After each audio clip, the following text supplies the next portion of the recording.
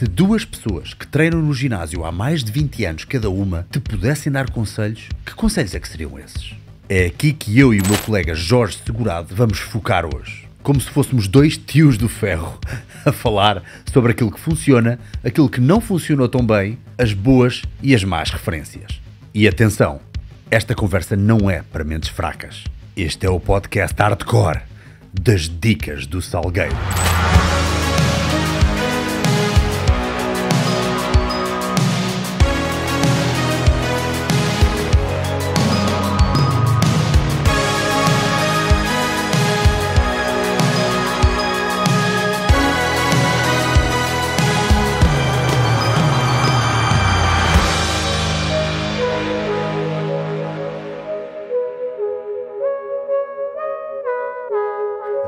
Opção foi Robocop?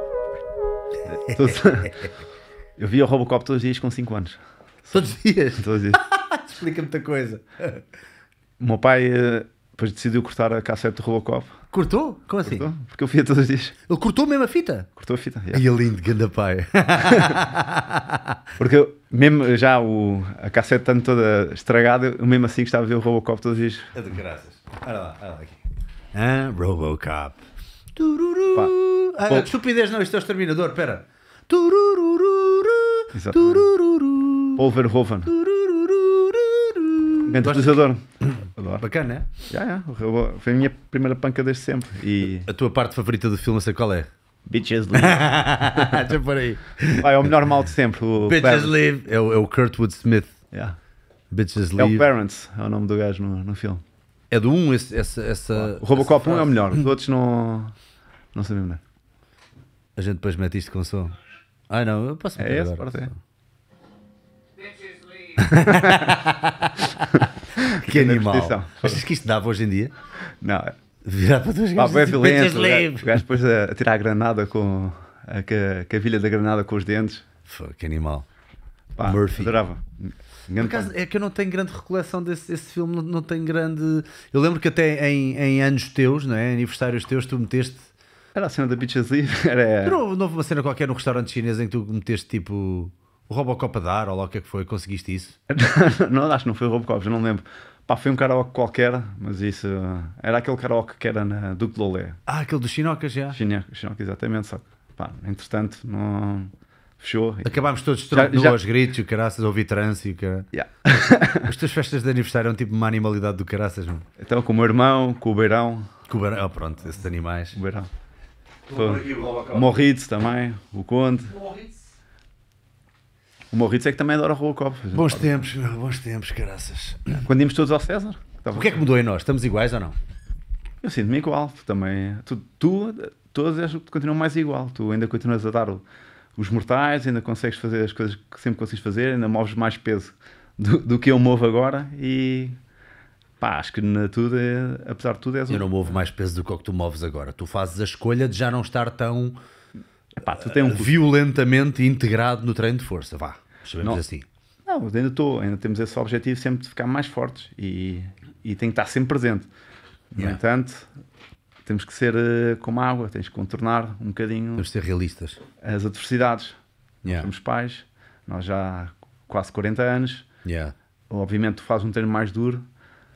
O, Para que a malta esteja em, em- em sintonia e conheça um bocadinho melhor de nós, talvez. eh, Estamos os dois com 39, temos a mesma idade. Yeah. Tu fazes em junho, eu faço em julho. Portanto, este ano vamos fazer os 40. Fazemos 40. Estás borrado ou não?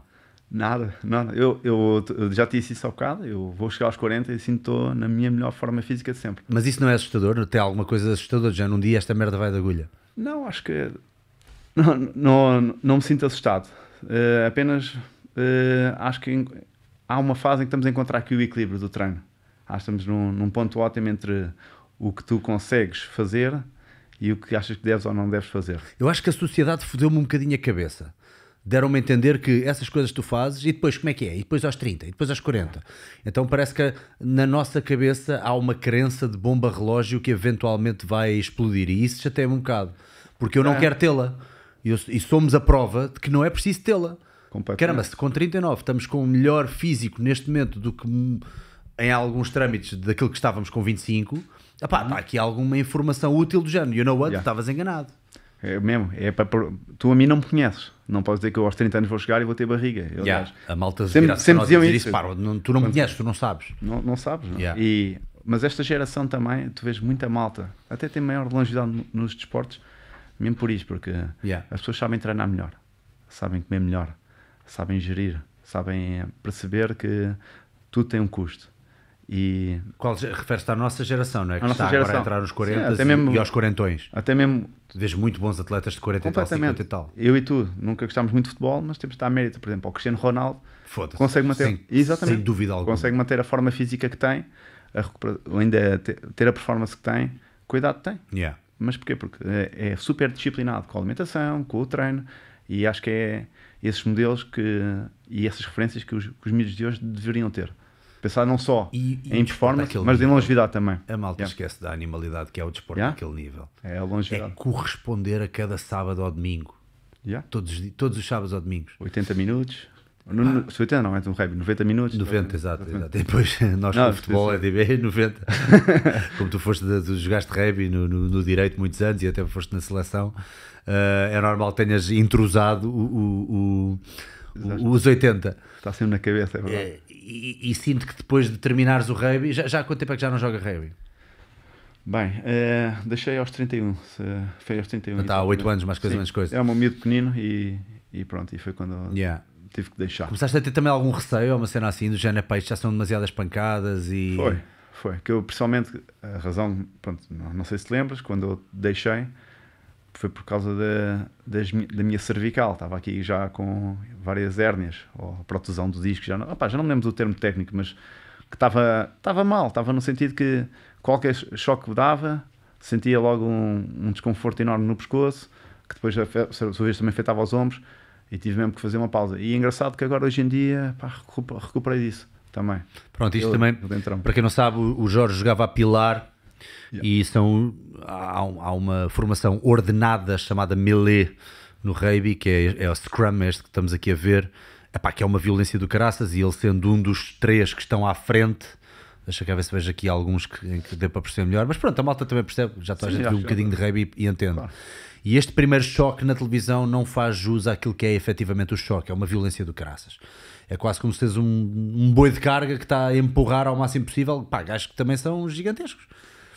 Yeah, o rugby também ouvi uma vez, a, E isso para, para, pronto, para, para, para a saúde cervical, obviamente, não, não, não, não ajudou nada. não te fez maravilha. Não, e então aquela posição que é específica, fazia muita força com o pescoço, afetava muito.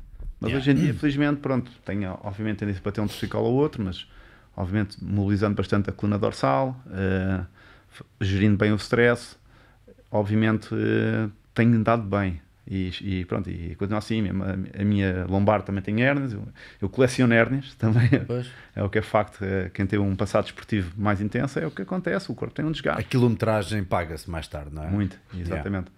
Mas eh, pronto, estamos aí, continuamos a treinar, ainda com. ainda- felizmente consigo ainda treinar numa base diária, treino 7 dias por semana e pá, sinto-me abençoado por isso, acima de tudo. Hum, yeah. Uma benção também. O meu Já- trabalho permite também isso. E já vamos falar disso das 7 dias por semana, que eu acho que há aqui muitas coisas importantes a desempacotar. Mas pronto, eu hoje chamei-te aqui e, e acho que nós agora estamos a, a cumprir um ciclo que é estamos a fazer 10 anos das dicas e tu foste o meu segundo podcast, o primeiro foi com o meu mentor dos duplos, o David Chan, e tu foste o segundo a falar sobre o trabalho de força. Uh, e obviamente a malta já nos associa bastante porque já tivemos várias intervenções tuas para o nosso canal das Dicas de Salgueiro e eu pensei, bora lá falar de como é que estamos agora. Inclusive é quem vir o Jorge de há uns anos atrás, quando fizemos o episódio número 2 e vê agora, é já o gajo está diferente, estás mais magro, estás mais seco, portanto fomos muito, houve muito serpentear do tipo de treino que fazemos ao longo dos anos, que é para conseguir dar conta do, do, do recado, mas continuar a sentir-nos úteis, úteis fisicamente, para nós também. Há, há muito aquela. tal- às vezes um bocadinho de teimosia masculina, se chamemos o que quisermos, É, aquele mindset capaz, é? de querer manter alguma competição connosco próprios, uh, yeah, já não levanto 200 e tal de agachamento, mas agora arranjei outras formas de me desafiar. Se calhar agora estou a correr durante mais tempo, estou a saltar mais alto, estou a fazer qualquer coisa. Epá, eu acho que isso é, é, é uma boa dádiva que damos aqui à malta que nos ouve, de uma forma completamente descontraída. Era o que eu estava a dizer, isto é tipo barbells and whisky. Vamos falar como se estivéssemos a beber, por acaso estou a beber chá, não tem nada a ver, não é chá escocês. Ai, os, os headphones caíram. Uh, não é chá escocês, é chá de cidreira. Estás a beber água.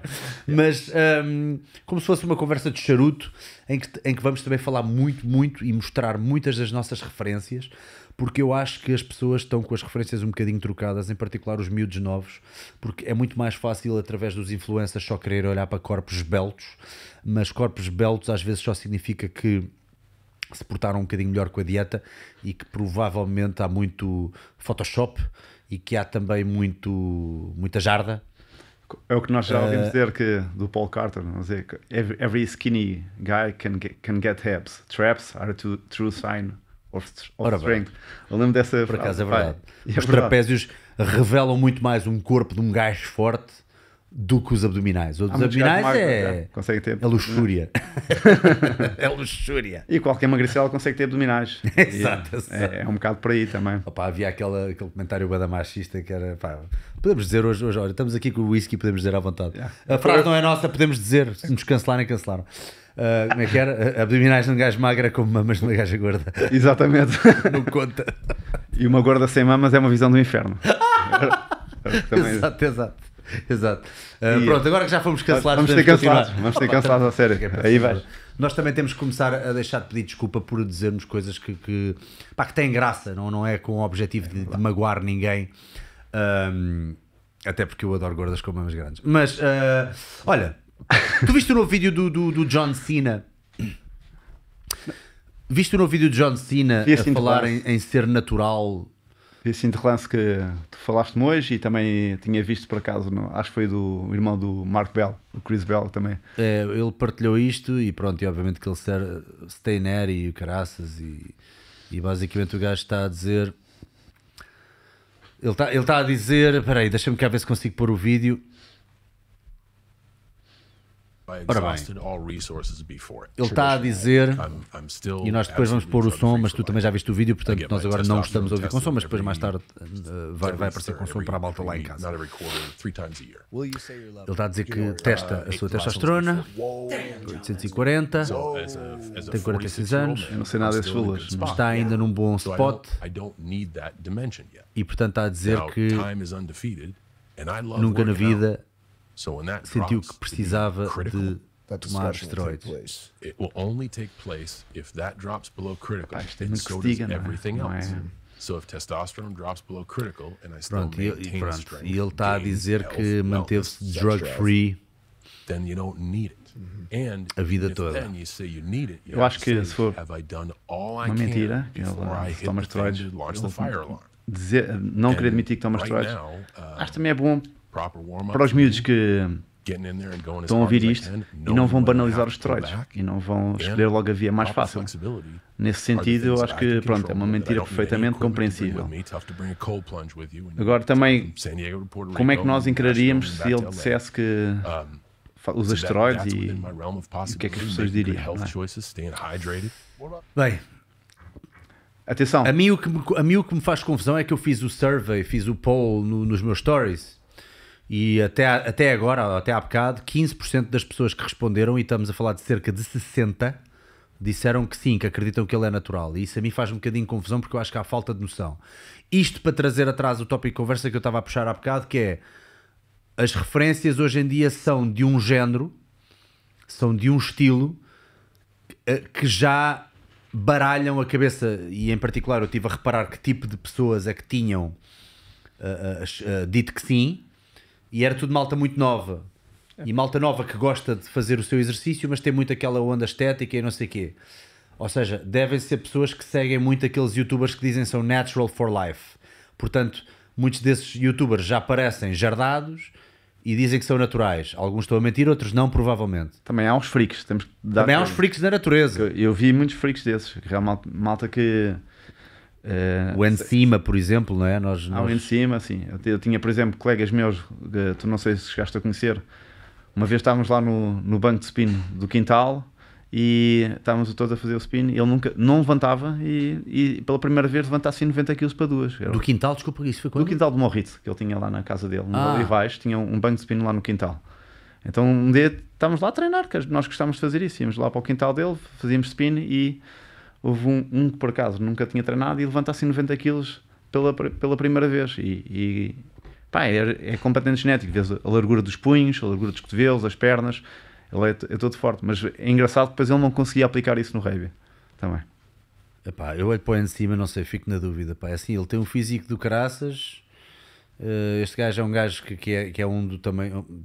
Ele participa no podcast que nós gostamos muito, que é o do Mark Bell. Já agora, quem, quem tiver interesse e quem gosta de podcasts sobre o assunto, em que se vai um bocadinho mais aprofundadamente falar sobre força, flexibilidade, kettlebells, eh, barras, powerlifting, strongman, crossfit, maratonas, tudo. Agora jiu-jitsu tudo. também. Jiu-jitsu, tudo. O Zima também é do jiu-jitsu. Aliás, eu gosto muito que, que, que o nosso formato seja muito semelhante. Acaba, acabamos por, não é que eu esteja a imitar nada, mas acaba por, eh, por ser um formato que faz sentido no mundo do fitness. Daí nós também fazemos uma coisa um bocadinho semelhante. Eh, e é uma coisa que eu tenho vindo a fazer também, que é tenho os convidados, mas depois pego neles e vou fazer um treino com eles e gravamos. E eles fazem muito isso. Pronto, e este em cima é um dos, é um dos apresentadores, epá, e o gajo diz que é Lifetime Natty também, e pronto, e aquela genética africana também ajuda, mas quer queiramos, quer não, é pá, um gajo olha para isto e o gajo é mesmo muito, muito grande. Eu fico mesmo na dúvida. Mas, mas fica aqui então aquela dúvida que é, por um lado, nós estarmos a falar, ah, se for para falar, mais vale ser aberto e dizer as coisas.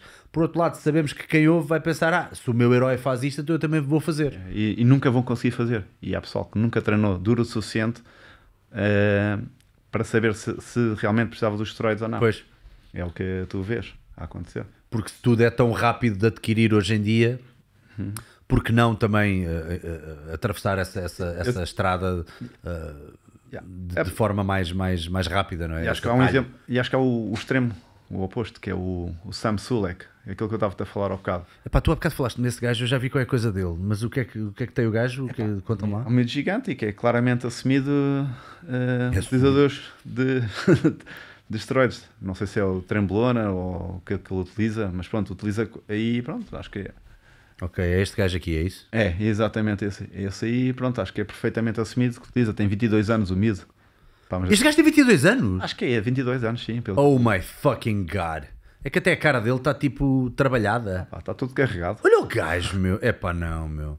Este faz lembrar aquele gajo que o depois é também- gostava, bué, o... E isto é o Como é que exemplo. chamava aquele, oh, Pissarro, como é que chamava aquele gajo, aquele brasileiro que tu curtias, bué? Tu que tem uma cara assim meio esquisita também. Não havia um brasileiro que tu curtias, bué, também? Amigo do Toguri, dessa malta. Scarpelli. N- Não, não, não. Parece este gajo, olha lá. Lembras-te? Tinha assim... Ah, o. hum, Ah, caramba, tinha um nome assim estranho. Fellas. Tadala Fellas e não sei o quê. Quem foi esse gajo? Pronto, é tudo mal. Pá, é, é- lá está. Isto, isto, isto para mim não é nada, meu. Eu olho para isto, isto, isto não é nada, meu. Não, nada. E a mensagem que o gajo passa acerca da alimentação, a cena do dirty, dirty bulking, aquela cena, calorias são calorias, só com merda, enche-se de leite, de, Ah, é? por- daquele pacote, completamente. Ah, pá, e comer Big Mac só pequeno almoço, não sei, assim um vídeo qualquer. Mas já viste, 4 milhões e 700 followers. meu. Vende. A banalização de esteroides também vende. Isto é uma merda, meu. Vês pessoas bem interessantes que ninguém segue. Não, a sério. Já estamos Pá, a falar do que, por exemplo, Zé Cavanesh, meu. exatamente. Pá, siga o Zé Cavanesh, meu. Lá está, estas merdas. Pá, se alguma coisa servir deste podcast que seja isso, pá, o Zé Cavanesh, Zé com CH. Hum, Dá espaço. Zia Vanesh. Avanesh, ele, ele, pronto, ele, ele também tem alguns seguidores, quer dizer, mas não é 4 milhões, nem pouco mais ou menos, é 41 mil, estás a ver? Eu é- tenho quase o triplo do gajo, mas tipo, pá, é, é- E o gajo está sempre a mostrar coisas, pá, interessantes e. Que é isto? There's nothing more unfortunate than to have soft, chubby, fat looking children. é pá, isto é, isto é engraçado. Era o Kennedy a, a falar sobre Do La Sierra. preparação física. A La Sierra High School, acho que é o nome desse. E, e ele segue muito aquele modelo à moda antiga de epá, de facto os homens tinham mais testosterona, as pessoas eram mais fortes, havia mais atividade física, tanto para homens como para mulheres. Ah, pois exatamente o Sierra, olha lá, isto Sierra era High tipo, pronto, são aqueles vídeos à moda antiga e o Zeca Vanessa adora estas coisas. E o trabalho que ele faz com os seus alunos também, com os seus Eu adorava- atletas, é incrível. Quem me dera que houvesse um ginásio Zé Cavanesh aqui, Pá, eu adorava que o meu miúdo andasse no, num ginásio. Não é? Completamente. Tu agora que tens filhos, Yeah. gostarias que tivessem alguém assim tão competente e com tanta paixão que para eles irem lá poder treinar. Que ensinasse os padrões básicos do fitness. O que nós estamos a ver aqui é tipo é padrões básicos. Estás É uma- a, uma a diz trepar, estás a subir, estás a aguentar uma isometria, estás... não há aqui nada muito especializado. E é o que ele diz, é treinar não só para a força de ginásio e a força de performance, mas também para transferir essa força que é adquirida no ginásio para, para outros aspectos da vida. Não- para não ser medíocre nos estudos também. E ele, pronto, vende muito isso. E quem, lá está. Quem me dera que houvesse o, um ginásio do Zeca. A malta esquece do elemento cognitivo que esta merda nos dá, que é se tu és capaz de preservar para o treino, para uma programação, para saber que demora tempo a adquirir as coisas e que só às vezes quando atinges um platô de repente ganhas mais 5 kg na barra e consegues levantar mais 5 kg, pá, é uma alegria brutal e parece um passo pequeno, mas é uma coisa muito grande a nível de, de accomplishment cá dentro. Epá, eu acho que isso é, é- isso dá-te um, um reduto que tu vais utilizar para outras coisas também. Ensina Tra traz só o microfone não é? mais perto de ti, fica, mete-o mesmo ao pé da bola. Traz, traz para o pé de ti. Oi. Isso, boa. Ensina perseverança, não é? Yeah. Que é, acho que os miúdos hoje também desistem, desistem muito facilmente. Yeah. não têm complacência suficiente e são valores que ele prega muito. E, e achas que é mais da geração deles ou achas que somos nós que estamos a falhar com eles? Acho que, tem- acho, que- acho que é ambos. Nós também Nós não, encontramos também o, eh, a solução para, para responder a este problema. Mas também, de facto, as redes sociais, onde é tudo tão rápido, eles, eles consomem tudo Yeah. mu- muito rápido, é tudo um consumo rápido. Não sei se já deste um, um iPhone a um miúdo ou um, um smartphone, é sempre a mexer, sempre a ver coisas. Eles, eles sabem mexer É. naquilo, parece que nasceram para mexer naquela É sempre logo com o Dinho. Dinho bem da pequenino. Eu ainda não dei, ainda não dei ao meu filho. Ah, atrás ao máximo, temos- claro. Atrás ao vezes, yeah, estamos com outros casais, por exemplo, que têm filhos da mesma idade ou um bocadinho mais velhos, e é de género, ah, quais é que são os animais que ele gosta? Porque estão tipo, a tentar jantar e estão a tentar tipo, também distraí-lo. E nós, tipo, olha, não- nós não temos ainda. Não é que ele não gosta de desenhos animados, já lhe mostramos, também não estamos aqui armados em puristas, mas. é epá, não, ainda não lhe dei, ainda não lhe dei. E um dia destes fiquei contente porque ele chegou ao pé do outro rapaz que estava a ver o telemóvel, mas mesmo tipo vidrado. Ele olhou tipo dois segundos e basou, cagou. E eu fiquei tipo, epá, boa, boa. Quanto mais tempo conseguimos preservar isto, melhor. Por outro lado, também não gosto daqueles, aquele extremismo. Não, é isso. pais que dão zero açúcar e zero dessas coisas aos filhos. É pá, um dia mais tarde eles descobrem e depois é tipo às colheres, às pasadas daquela merda. Exato, é, é difícil ensinar moderação. Yeah. Que lá está, o que eu estava a falar disso do açúcar. Exatamente, eu quero ensinar moderação. Mas obviamente também queres atrasar ao máximo, porque nós sabemos que os miúdos, quanto mais pequenos estão a ingerir o açúcar, obviamente também estás a viciar logo o paladar deles. Pois, mas se É. deres um bocadinho e ensinares moderação, acho que é possível, não é? Claro, eh, agora há uma idade em que eles conseguem eh, compreender a moderação e há uma idade em que se calhar reagem muito no. Pois. Tu tens dois, diz-me tu a mim, tu, tu sabes isto melhor do que eu. Mas, Mas imagina, também é uma luta, também é uma luta. se tu ensinares que é, provas um bocadinho, já está. Ah, mas o que é mais? Mas o que é mais? Já está. Exato. E, e vais criando na cabeça dele aquela coisa, aquela, aquele padrão, não é? Aquele algoritmo de já está, foi um bocadinho, ok, it's done. Exato. Uma é- vez de vez em quando, e não sei o quê, parece que é melhor do que hoje estás à vontade. Epá, hoje estou à vontade. É muito difícil é nas festas de anos, quando vais. não é? Não, é, é Tudo é merda, não é? Tudo é. pá, marshmallows e. eu tento sempre dizer: come a comida, come, come o pão, come o queijo, come, come as coisas, eh, os salgados, pelo menos tem, sempre levas com um bocado de proteína. Agora só, só mesmo levar os marshmallows e, e as gomas e o, eh, as bolachas e as, as batatas fritas é o pior. Os gajos com as batatas fritas é impressionante. Olha, vamos voltar atrás e falar um bocadinho do treino. Então, tu, tu tinhas uma abordagem muito mais de força nos teus treinos. Sempre foi uma coisa que tu sempre fizeste eh, e tu eh, sempre inteligiste que, que a força acaba por ser um bocadinho a base de tudo, não é? E ainda é, ainda, ainda, ainda acredito muito que Yeah. O treino de força é, é completamente prioritário. Nós sabemos que uh, os níveis de força influenciam todas as outras manifestações de força, Pois. incluindo o power. Mas estavas ao bocado também a falar da questão de, da potência, que realmente tem-se vi- eh, vindo a ver, que é das capacidades físicas que cresce também mais depressa com a idade. Pois, pois. E acho que tinha sido o Dr. Andy Galpin que tinha falado também disso e, e que realmente é importante manter algum tipo de trabalho explosivo. Lá está a capacidade de sprintar, a capacidade de fazer uns swings, de fazer uns cleans. Ou, se tu consegues ainda ter essas capacidades, deves, deves mantê-las. Deves, se não, use it or lose it. Yeah. O, último, o último convidado aqui do podcast introduziu o tópico que eu acho que gostava que começasse a ser um tópico ou uma, uma, uma terminologia comum para as pessoas que era, a, a- portanto, temos a sarcopenia, que é a perda de massa muscular,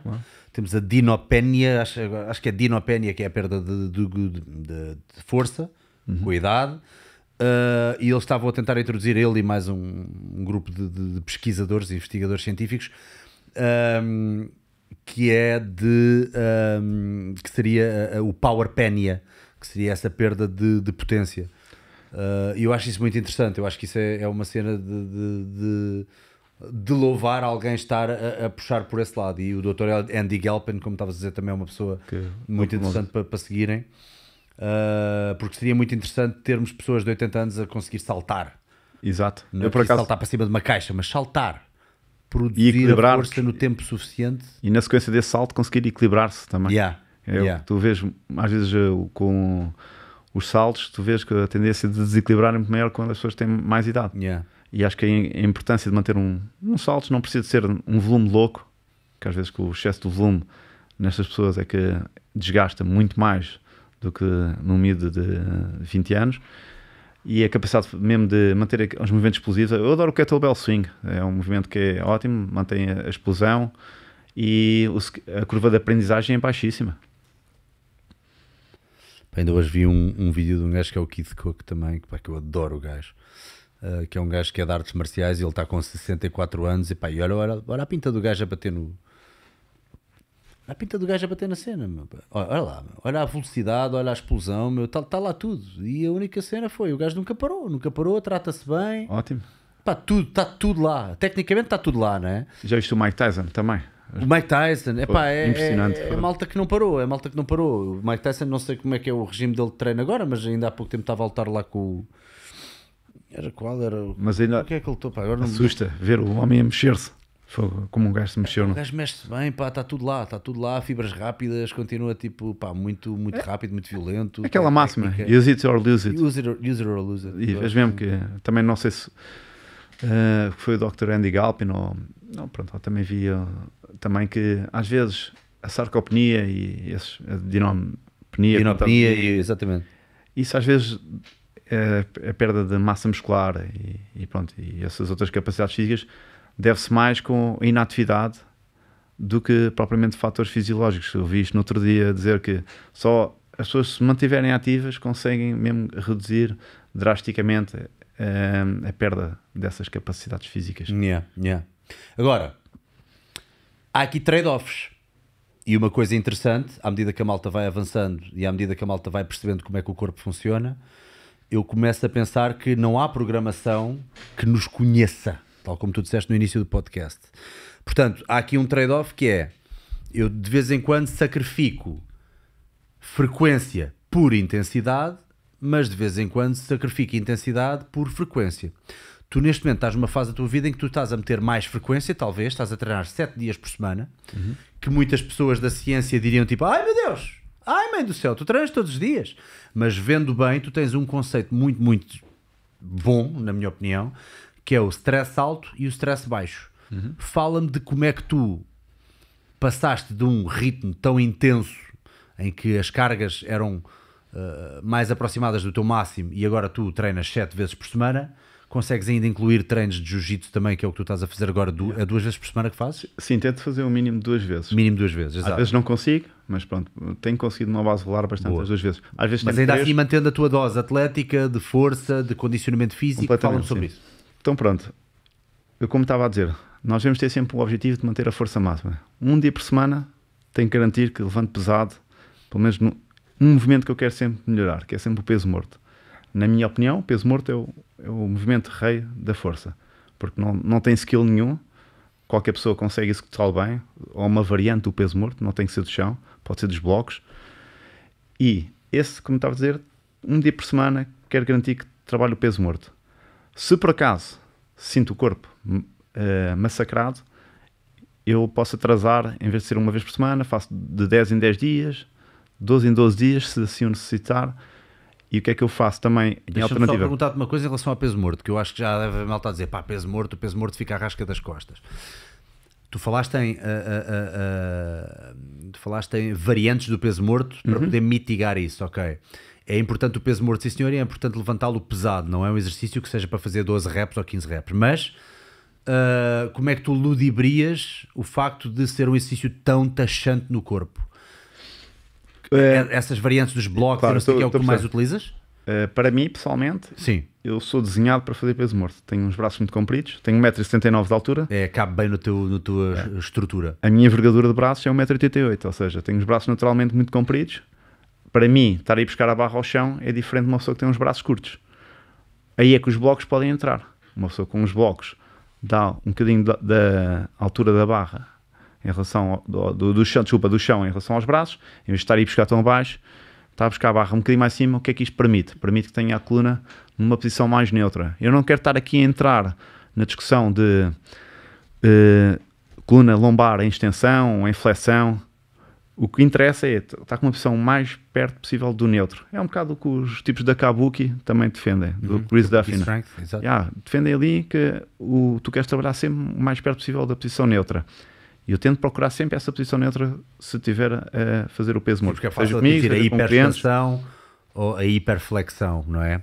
E qualquer uma das duas, pronto, à partida, há- já, já temos pessoas a levantar muito bom peso, tanto numa forma como de outra, Uhum. e conseguem evitar a lesão porque são muito fortes estruturalmente, mas o ideal, vá, se nós tivermos que ensinar ipsis verbis o que é que é exatamente o peso morto, quanto mais neutro melhor. Yeah. Claro, e- é um bocado que o Stuart McGill diz também, que mesmo tendo um bocadinho de flexão lombar, se o eixo de rotação é a partir da anca e não é a partir das vértebras, obviamente que o mecanismo de lesão pode variar, não é? Porque se tu estás a mover a partir das vértebras, obviamente vais estar numa posição muito pior para transmitir a força, ok? Enquanto se o eixo de rotação é a partir das ancas e podes estar até com um bocadinho de flexão lombar e tu começas a ver um, um deadlift de categoria internacional ou de aqueles números monstros que nós vemos, eles não conseguem manter as costas 100% retas e direitas. Há Pois. sempre, há sempre um Quando já estás a ir ao máximo, não, Mas, mas nunca há um bocadinho. lesão. Mas nunca há lesão. Porque, porque, toda a musculatura está ativa. Prepararam Está toda a musculatura para conseguir também Exatamente. levar com aquele... arca-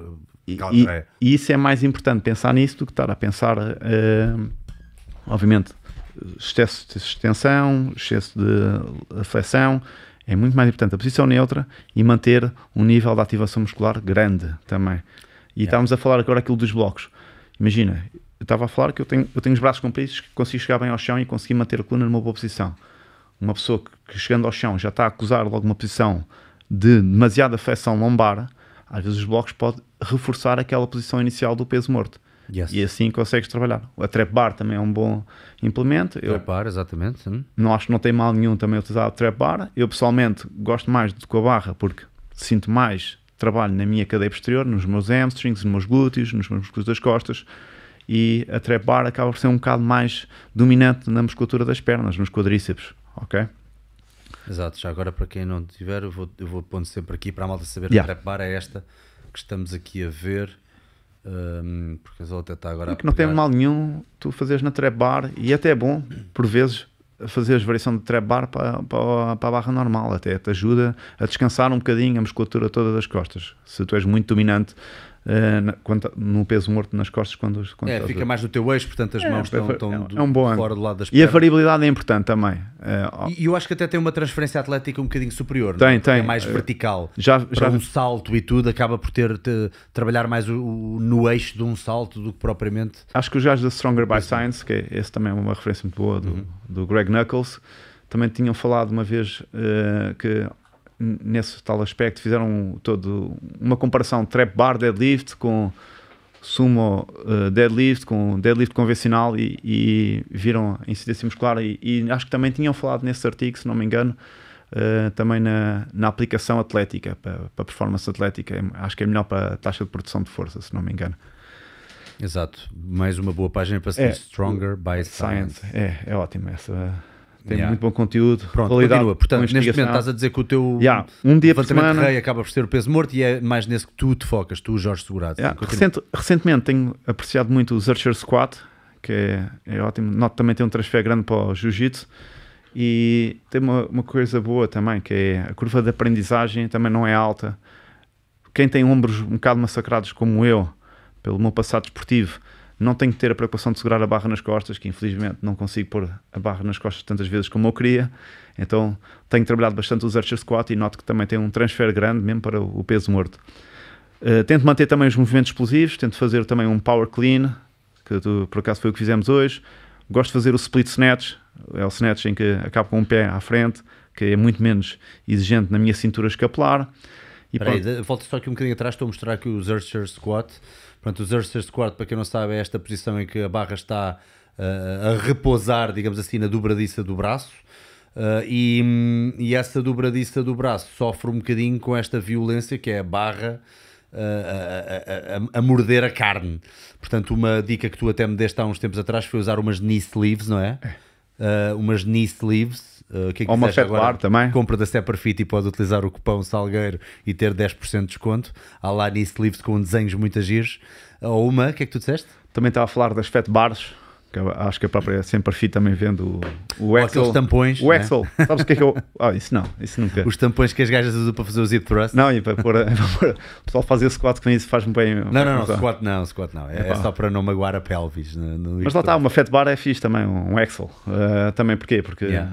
o diâmetro é maior, não, não, não Pois. morde tanto aqui na. Não morre tanto, não há aquela tipo. "Ah". Mas eu pessoalmente já gosto. E Pois tu estás aqui a fazer sem nada, pá, que maluco. Tu és maluco, tu és um ganda Tarzan, todo tá- nu. estávamos a falar disso há bocado também que cada vez mais gosto menos de usar cinto. Uso o cinto para o deadlift, para o deadlift acho que pronto, ao peso morto, acho que é o exercício que Mas que conselhos é que tu darias às pessoas em relação a usar o cinto?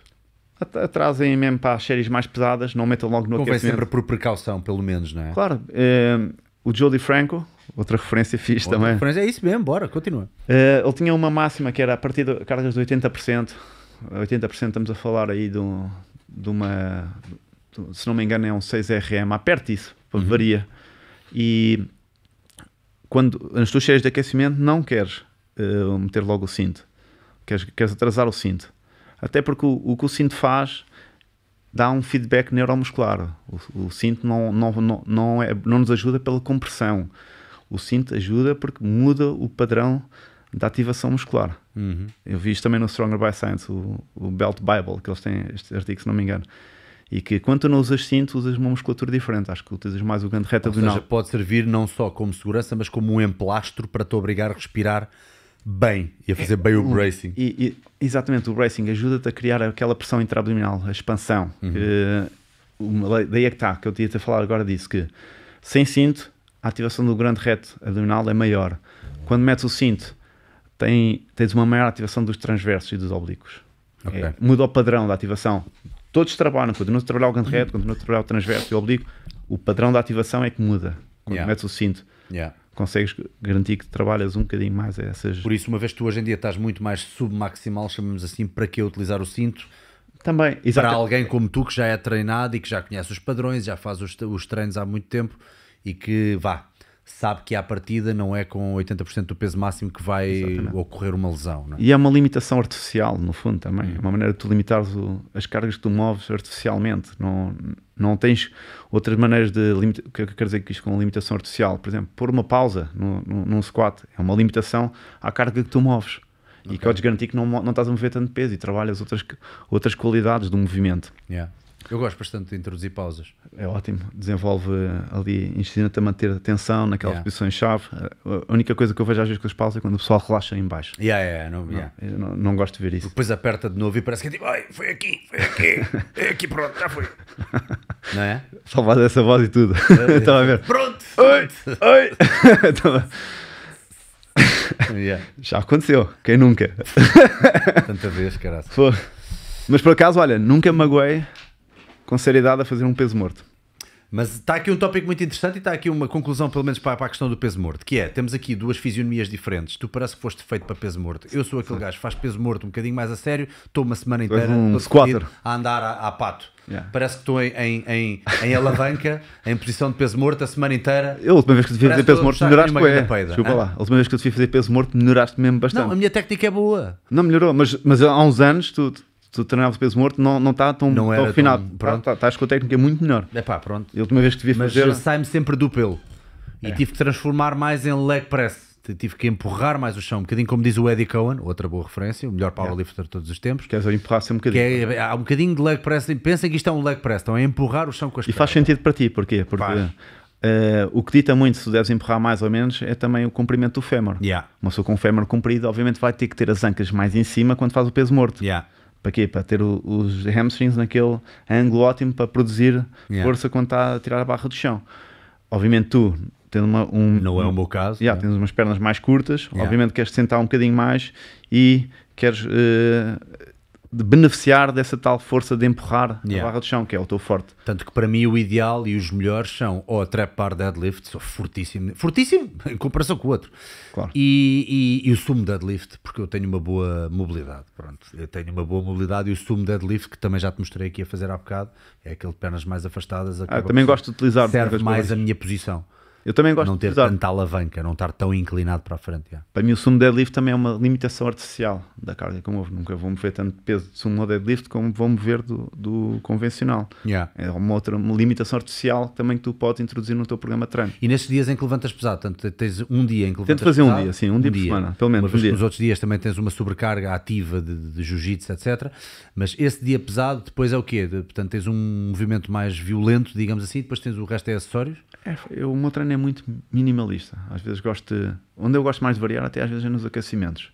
Mas o, o core do meu treino continua a ser isto: ter um bom peso morto, ter um bom shoulder press. um- eu escolho às vezes a barra ou o one arm, porque noto que, tendo em conta o meu historial, e estamos a falar de quilometragem há, há uns tempos, são os movimentos que são mais natural para, o- para o meu ombro, individualmente. Atenção Yeah. que para uns pode ser melhor o spin, mas o, eu gosto da liberdade que a minha homoplata tem quando se move, quando faz um shoulder press.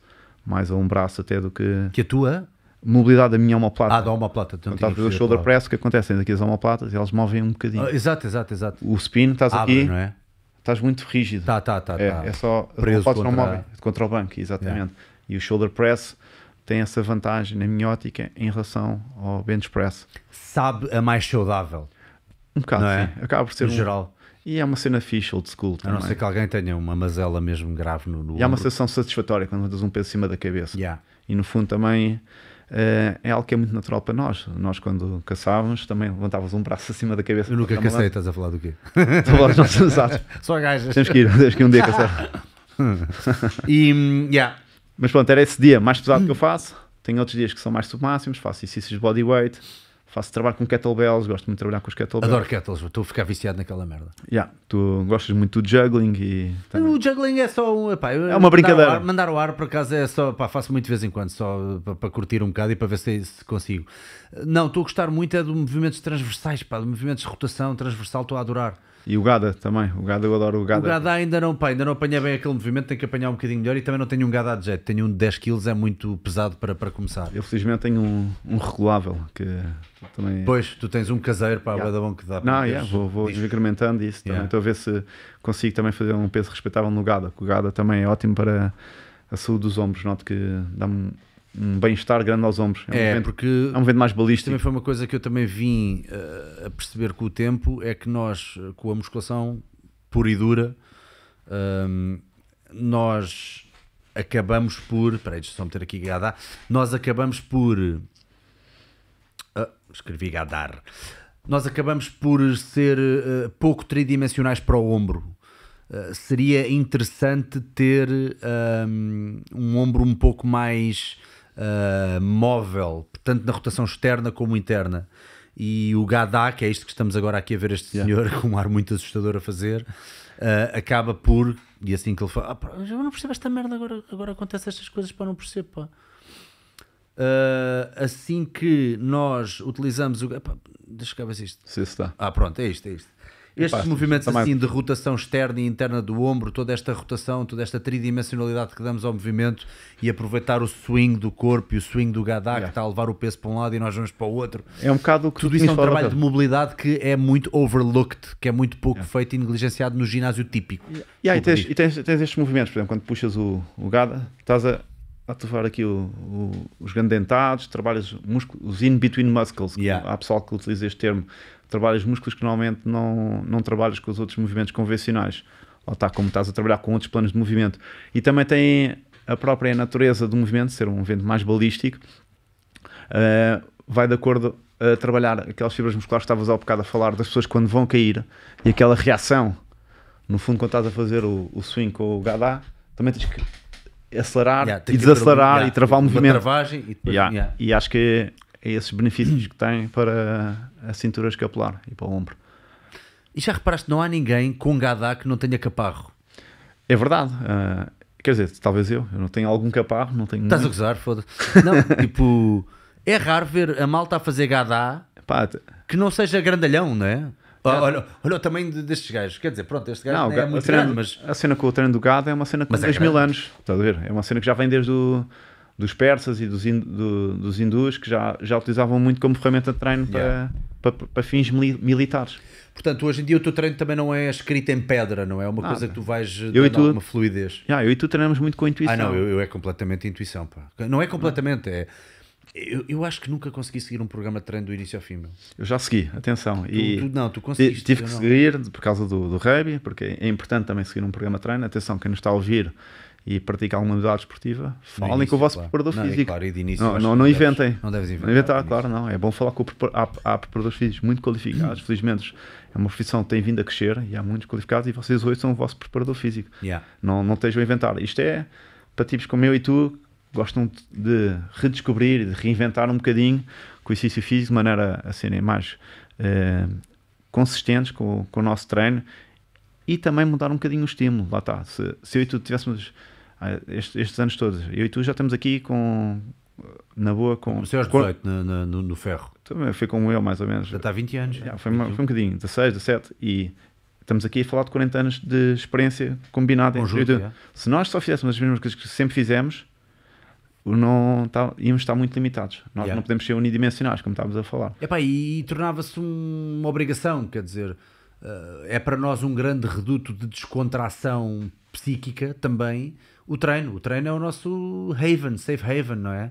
Longe da merda toda, longe do sítio onde não tens que pagar contas, onde não tens que, eh, não é? Onde não tens que é, um, prestar relatórios e sei lá, e é um- é um é um ritual espiritual. É, é um, um bocado, ritual espiritual. é, no fundo é como os próprios monges Shaolin também treinavam numa base diária. Eu, eu não estou a dizer que sou um monge Shaolin, mas que encaro o meu treino também como algo espiritual. Não é, Yeah. só, não é só a parte física e o desenvolvimento de capacidades físicas. Faz-me bem mentalmente.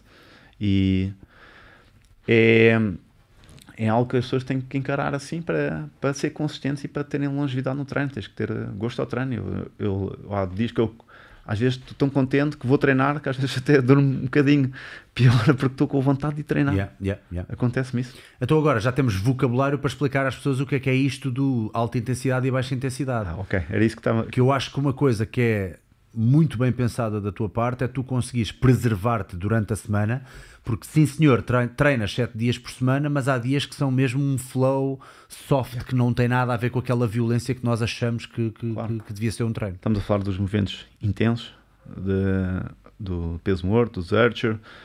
Portanto, esse é o dia de alto stress. Yeah, alto stress, gosto de ter um dia a meio da semana que não interfira com, com a prática de jiu-jitsu, que seja com um stress um bocadinho menor.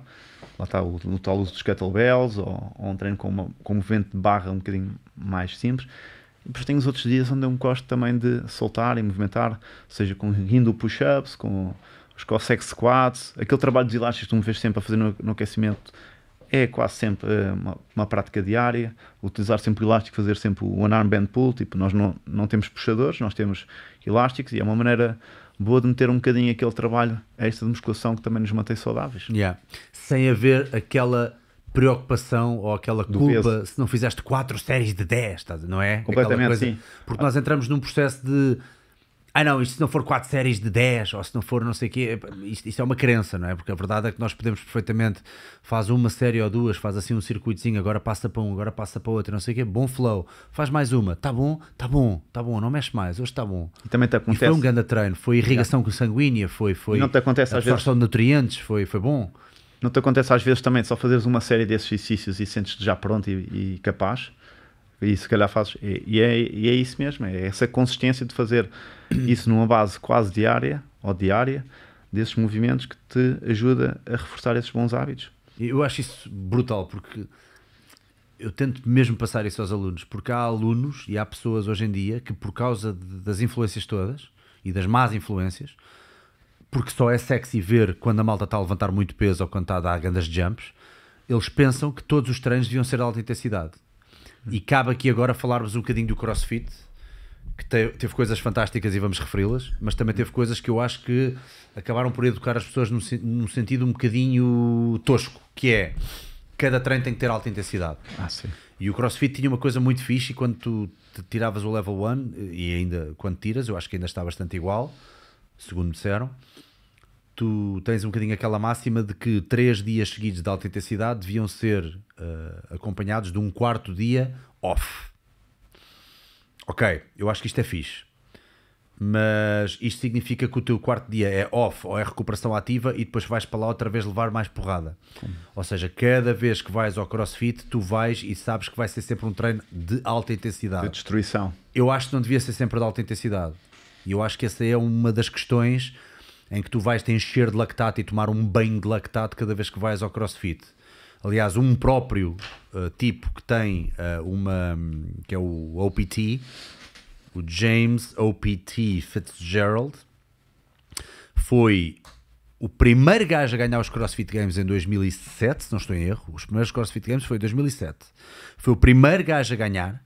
Uh, e o gajo, obviamente, já foi uma pessoa. É aqui este senhor que está aqui à direita a conversar. Obviamente que é uma pessoa que já, para ele, o crossfit já foi muito importante, mas depois começou a perceber que, de facto, estes banhos de lactato que as pessoas tomavam, inclusive já tinha grandes, grandes consequências a nível de saúde mental. Nomeadamente pessoas viciadas, isto são palavras dele, viciadas em adrenalina, que já não conseguiam treinar se fosse uma coisa soft.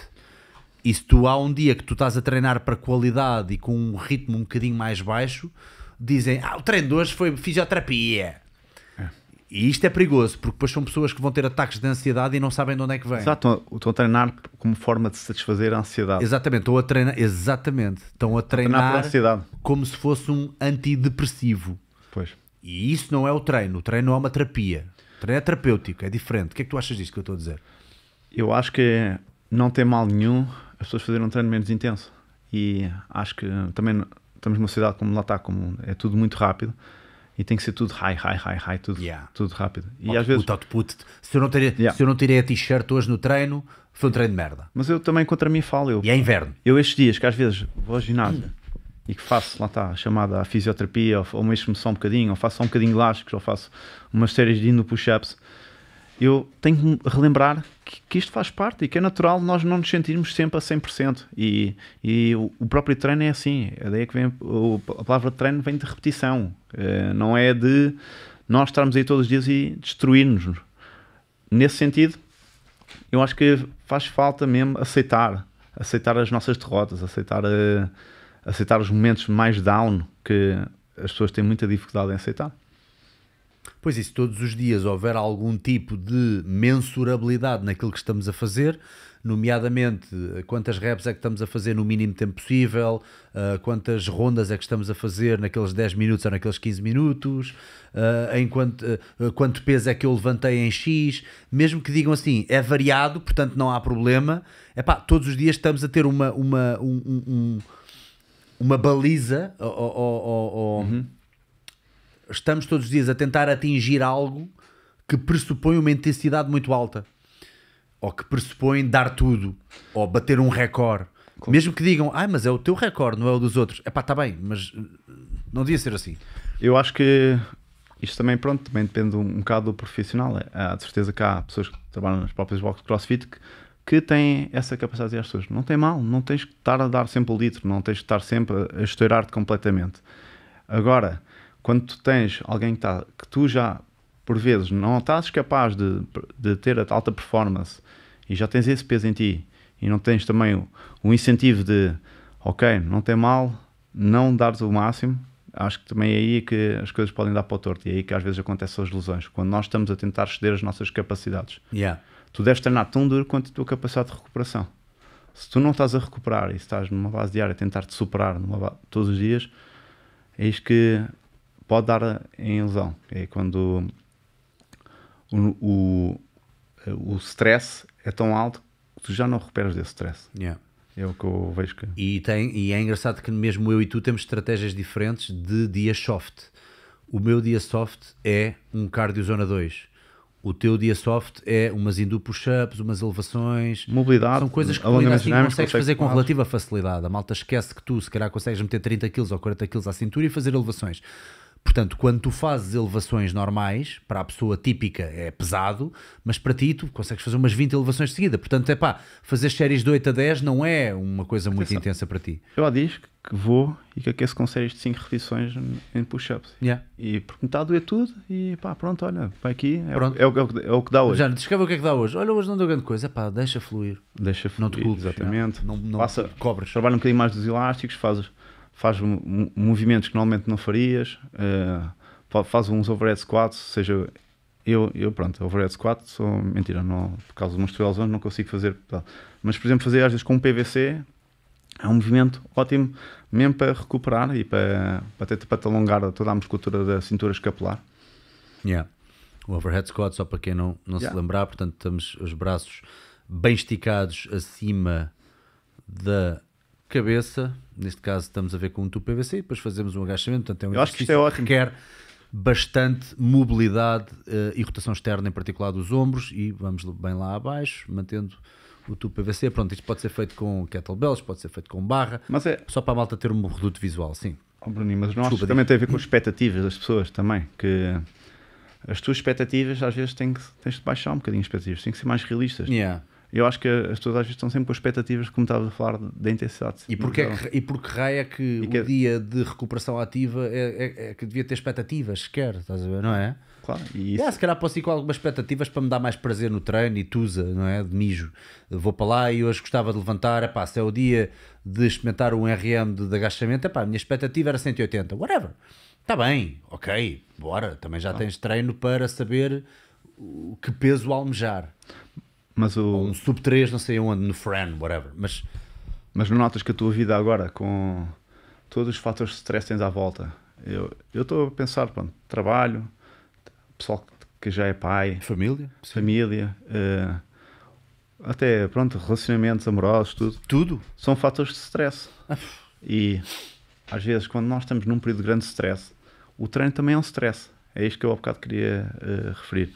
É que o treino também é um stress. A malta se esquece que o treino é um stress. stress. E não podemos garantir que estamos a meter tanto stress que está a exceder as nossas capacidades de recuperação. Completamente. E é aí que eu, E já te vi muito mal com isso. exatamente, foi aí, foi aí que me faltou gerir a expectativa. E é aqui que nós também, em jeito de desabafo, devemos dizer às pessoas: pá, nós próprios já sofremos muito com isso, que é de género. Eu também, quando fui pai, não é? Eu já foi há dois anos, mas houve uma altura. É pá, por acaso consegui safar-me bem porque eu tenho um- um- uma profissão de freelancer onde eu consigo também ajustar depois. Mas. Epá, de início eu estava tão naquela de eu não vou deixar de treinar por ser pai, vou provar que é possível. E então parece que treinei com o dobro da intensidade. E e percebi que, ok, isto está-me a arrebentar, mas tudo bem, eh, consegui gerir. Mas vi-te a ti, por exemplo, numa fase em que ainda por cima tinhas muitas aulas por dia e se calhar não conseguias ter uma gestão do teu dia tão mais à vontade como eu tenho às vezes. Uh, vi-te a sofrer, vi-te a sofrer. Estavas a tentar encontrar ali um nichinho do dia para treinar e depois aparecia a mulher da limpeza no ginásio e tu foda-se. Isso tinha graça. Mas ao mesmo tempo via, eu, eu via que estavas mal, não estavas eh, contente. Era as minhas expectativas. Era pesado. Porque eu, lá está, estava muito preso hum, a, métricas, como estavas a falar ao bocado, estava preso ao peso que tinha que fazer do agachamento, ou ao peso que tinha que fazer do, de um deadlift ou de um press. E essas métricas não tem mal nenhum nós termos objetivos de superá-las, mas há fases para poder superar. Não eram realistas para a Yeah, sobrecarga que Exatamente, na, na altura, um- uma Quando, expectativa muito mais de realista. pai, não é a melhor altura para, ser- para bater Yeah. recordes de powerlifting. Mas, exatamente, mais, muito mais inteligente teria sido da minha parte pensar: olha, vou tentar fazer o, o maior número de flexões numa série unbroken que consiga. Vou tentar chegar às 100. É um exemplo de como é que se teria sido um objetivo bastante desafiante, mas ao mesmo tempo bastante menos taxante do que implicava, por exemplo, fazer o, um, mais 10 kg ou 20 kg no, no, num movimento de força. Yeah, yeah. E acho que, acho que é isto que às vezes as pessoas têm que aceitar que há momentos da nossa vida que não vai dar para conseguirmos fazer certos pesos. E não tem mal nenhum. É só uma fase. Acho que é isso que as pessoas têm que perceber. E às vezes estas fases só nos vão tornar mais fortes. Eu acho que as pessoas mudarem, lá está, o shift de capacidades físicas exclusivamente de força e trabalharem, se calhar, um- uma fase de treino mais na capacidade aeróbia, poderá ser benéfico, porque depois, quando forem fazer outra vez um ciclo de força, a sua capacidade de recuperação vai ser bastante menor. Nós sabemos isso, que, por exemplo, a capacidade aeróbia influencia a recuperação entre treinos de força. E é engraçado que era uma coisa é uma que não. Ultimamente é que tem vindo a ser mais trazida à tona outra vez. Que a malta já se esquecia do cardio de base. A malta falava muito cardio de base, cardio de base. O que é que é isto? É aquele cardio ah, entre um X de batimentos cardíacos, agora não me recordo se é entre 120 e 140, mas eu tenho ideia que estes números Não, também é não, para, para- para indivíduos treinados. Eu também estou mais baixo, não eu é? também estou um bocado eh, desligado um bocado desses novos também eu. conceitos e mas acho que já ouvi falar ouve-se falar agora em zona 2 eu Pronto, o Zona 2, tam- eu acho que é mais importante a, a, a- a percepção de esforço. A percepção de esforço do cardio Zona 2 ah, é, ah, pode ser uma caminhada para algumas pessoas, pode ser uma corridinha muito light, um jogging. Normalmente, se for caminhada, para uma pessoa típica, vá, minimamente treinada, ah, pode ser uma caminhada inclinada, qualquer coisa que tu consigas, inclusive, é manter uma conversa, mas que de vez em quando tenhas que. Não. Ok, como eu estava a dizer, portanto, que barely conseguirias manter uma conversa. Sim Não é uma conversa à vontade, é estar ali já num limiarzinho em que. Peraí, peraí. Ok, como eu estava a dizer, eh, e, e- e go- gosto dessa essa percepção do esforço daquilo que é o cardio zona 2. Epá, e é das melhores coisas porque é feito a 30 minutos.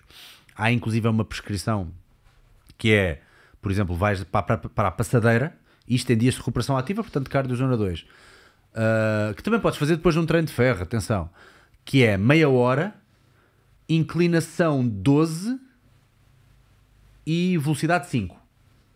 30, 12, 5. Portanto, inclinação 12, velocidade 5, 5 km por hora. Cuidado se for uma passadeira de 5 milhas por hora. 5 km por hora, inclinação 12, velocidade 5. Estou a dizer bem? Estou. Ah, é, é é uma prescrição dessas de cardio dois. zona 2. Agora, sendo cardio e sendo monoestrutural, como se gosta de chamar o crossfit, ah, pode ser uma coisa feita no remo, pode ser uma coisa feita a saltar à corda para quem tiver facilidade a saltar à corda, mas aí já há demasiado impacto, na minha não opinião. era, não era fazer um chamado rucking que é também andar Hacking também funciona, Yeah. mas o hacking Não eu é acho que vai imitar a inclinação no sentido em que Ok, tem um é, é um, é um andar um bocadinho mais intenso do que o andar plano. Portanto, estás a andar plano com uma carga às costas, Uhum. que é o rucking, não é? Ou então podes andar inclinado. Epá, e escusas de meter uma carga às costas, que o andar inclinado já tem algum. Mas podes juntar as duas coisas. Quem tem uma boa preparação física vai fazer uma boa caminhada com altos e baixos, com uma mochila e até pode estar ali pseudo a manter uma conversa. E, hum, epá, e é um grande cardio zona 2 peça mal. Claro. Yeah, yeah. Eu, no meu tempo, pronto, era mais. Ouvia-se falar em termos como capacidade aeróbia, potência aeróbia. Não, sabia que a manifestação, por exemplo, em que acontecia a capacidade aeróbia entre ali, entre os 12 e os 20 minutos, a uma intensidade à volta de 60% a 70%, já não sei os números ao certo, mas que era como nós utilizávamos o- a prescrição do cardio na, na altura, em que pronto, também que fiz preparação física. Hoje, por acaso, é, é algo que não me preocupa tanto. Hoje em dia, a minha maior recomendação sempre às pessoas quando querem fazer alguma recuperação ativa de baixa intensidade é andar. Andar, eh, já sabemos aquela questão de andar os 10 mil passos por dia, que é, que é benéfica, os 8 mil passos, já não sei ao, ao certo. Eu É, gosto- os 8 mil seria o mínimo, 10 mil é o ideal, não é? Acho mas, eu- mas eu gosto muito da recomendação do Stan Efferding, do, do- da Vertical Diet, que ele de- mandava sempre os atletas que ele treinava no fim de cada refeição dar 10 a 20 minutos isto tem dois benefícios, um é, é a regulação da insulina, o outro é mesmo os benefícios de, de andar, que é benéfico para a, coluna, para a coluna lombar, que é bastante benéfico andar. Yeah. E, e acho que é uma recomendação ótima mesmo para meter trabalho extra sem que podes andar também. Temos que fazer uns rankings destes. Estou aqui a ver o vídeo do Cameron Haynes, que é um grande amigo do Joe Rogan. O que é caçador. todo, é Ah, todo arqueiro o gajo. E estamos a ver este senhor assim, todo tatuado também, que estava ali tronco nu, que é o Andrew Huberman, que é um, um, um neurocientista que agora está muito na moda porque tem um podcast incrível. Uh, portanto, quem, não, quem tiver interesse, chama-se Andrew Huberman, H-U-B-R-R-M-A-N, Huberman. Muitos de vocês já conhecem de certeza o Andrew tem mais Huberman, capa, porque ele agora está muito parece. O gajo tem que- é caparroso, o gajo É, é tem. caparroso. Não sabia que tinha assim um físico. mas- Esta malta também tem muito, tem muito acesso ao sumo. Isso Eu tenho sempre na dúvida, eu acho que todos dão no sumo. O Cameron Haynes nem parece. O Cameron Haynes eh, até nem parece dar. É pá, talvez não, porque o gajo faz aquelas ultramaratonas, portanto eu duvido que. o- É, não é? O gajo faz É, o gajo co- corre todos os dias, não sei se é meia, meia maratona, assim, é um disparate desses, mas eu gosto. Eh, isto para dizer o quê? Mas essa recomendação que estavas a dar também é uma recomendação muito interessante, que é a do Stan Efferding. Mais uma pessoa impecável para a malta seguir. Não se assustem, porque de facto o Stan Efferding é mesmo. Esse é, é o único que admito que é jardado. Que já teve inclusive no meu podcast. Vocês têm um podcast meu com o Stan Efferding. Uh, epá, e o Stan Efferding é uma pessoa que fala muito disto que nós estávamos agora a falar, que é os 10 Minute Walks. É este senhor que está aqui. Uh, os 10 Minute Walks. Para já, ele é o powerlifter. Não, ele é o bodybuilder mais forte do mundo. Yeah. Quando, ele, ele- quando alternava entre competições de powerlifting e de bodybuilding. era Exatamente. Porque dentro do seio do bodybuilding, onde não é preciso levantar cargas tão astronómicas como no powerlifting para teres aquela massa muscular, havia um senhor que era o Johnny Jackson, eu lembro perfeitamente, que era considerado o gajo mais. Era considerado o gajo mais forte do, do, Do bodybuilding. do bodybuilding, porque levantava não sei quanto de peso morto. É este gajo aqui, pronto, isto agora deve ser um vídeo mais recente. Porque nesta altura esta malta ainda tinha tusa por encher com força. É um bocadinho como o Ronnie Coleman. Mas o recorde do Johnny Jackson foi batido pelo tal Stan Efferding. Pa- Ah, eu acho que eu não sei se era o peso morto que ele fazia para uma e ele fazia para ir para três. Yeah, ou, assim ou- é um ou tipo- ele levantou um, um peso que o Johnny Jackson fez, ele levantou só com uma mão, foi uma cena assim qualquer a gozar. Ah pá, não sei, ele fez assim um vídeo uma vez a- a- Yeah. com o Johnny Jackson. Pronto, e a malta ficou naquela, pronto, é o World's Strongest Bodybuilder. E eu gostei dessa, dessa coisa. Mas a Vertical Light é do Sam Efferding. Acho que, acho que é, é excelente. Acho que é mesmo recomendações. Pá, É muito fixe. É muito fixe. Pronto, e a dieta vertical do Stan Efferding caracteriza-se por, lá está, é mais uma dieta com nome e logo aí faz um bocadinho de confusão a muita gente e a mim também faz um bocadinho, mas eu acho que aquilo faz muito sentido, que é, estamos a falar de uma dieta que pode ser empilhada verticalmente, ou seja, estamos a falar de as quantidades a partir de determinada altura interessam. E tu se tiveres a treinar pessoas de alto rendimento e que querem de facto maior massa muscular, tu tens que arranjar uma forma e ele focava-se muito em várias coisas nesta dieta, mas uma delas era evitar comidas que nos pudessem dar desconforto gástrico. Olhar para tu és FODMAPs, não era? Exatamente, olhar para os, para, para- para os alimentos FODMAPs, que são aqueles que provocam mais gases. Portanto, evitar tudo o que é feijões, evitar tudo o que é alho, tudo o que é cebola, graças a Deus. Substituir os Parece brócolis por espinafres. Acho que ele fazia essa. O que, qual, qual? Brócolis por espinafres. Que ele substitui. substituir brócolis por espinafres, era cooked É. spinach, que, que, que era melhor do que espinafres também uh, crus, não é? se não estou em erro.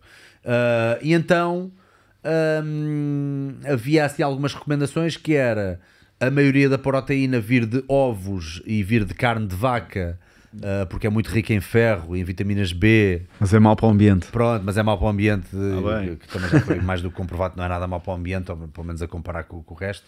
Ah, mas pronto, isso são outras núpcias, não vamos entrar nisso. Ah, Salmão também, ele recomendava muito o salmão também. eh, pelo menos um, salmão, como forma de micronutrientes. Acho que a cena da vertical era para os macronutrientes que escolhiam um espectro de alimentos reduzido. Era principalmente grande fonte das calorias, carne vermelha, ovos e, e arroz. Que é o arroz que era, consistia na, na facilidade de digestão, que era a recomendação dele do arroz.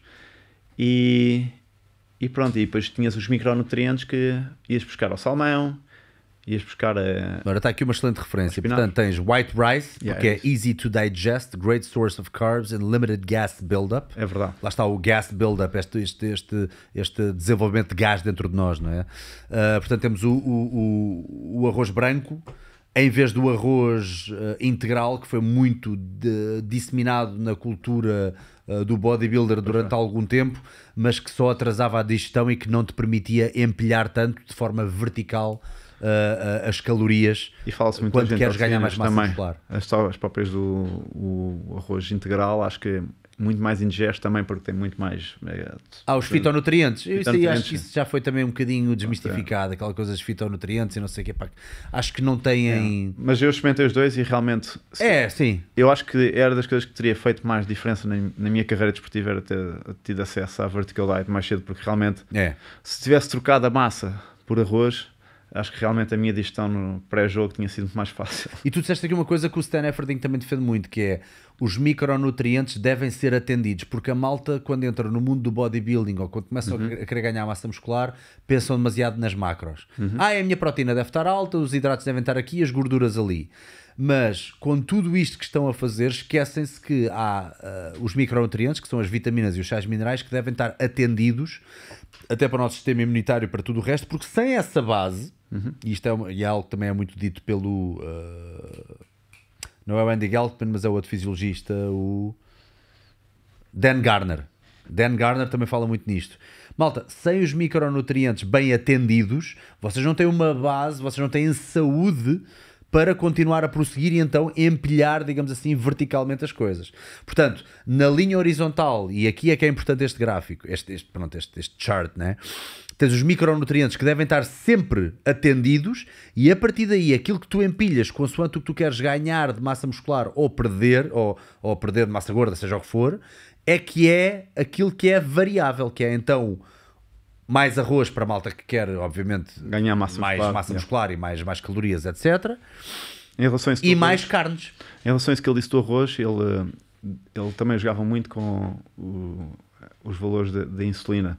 Se uma pessoa não é sensível à insulina, obviamente ele não prescrevia tanto o arroz, metia mais eh, hidratos de carbono a É. partir de frutas e vegetais do que propriamente o arroz. O arroz ele só metia na, mesmo nas fases mais de bulking e quando já tinha uma composição corporal adequada para eh, inserir o arroz. Era o que ele Yeah. E temos aqui alguns staples, inclusive é da tua dieta ainda, que eu acho que é interessante falarmos, uh, dentro dos micronutrientes. Pronto, é fácil falar de carne e de arroz, mas há coisas Hum. que as pessoas esquecem-se.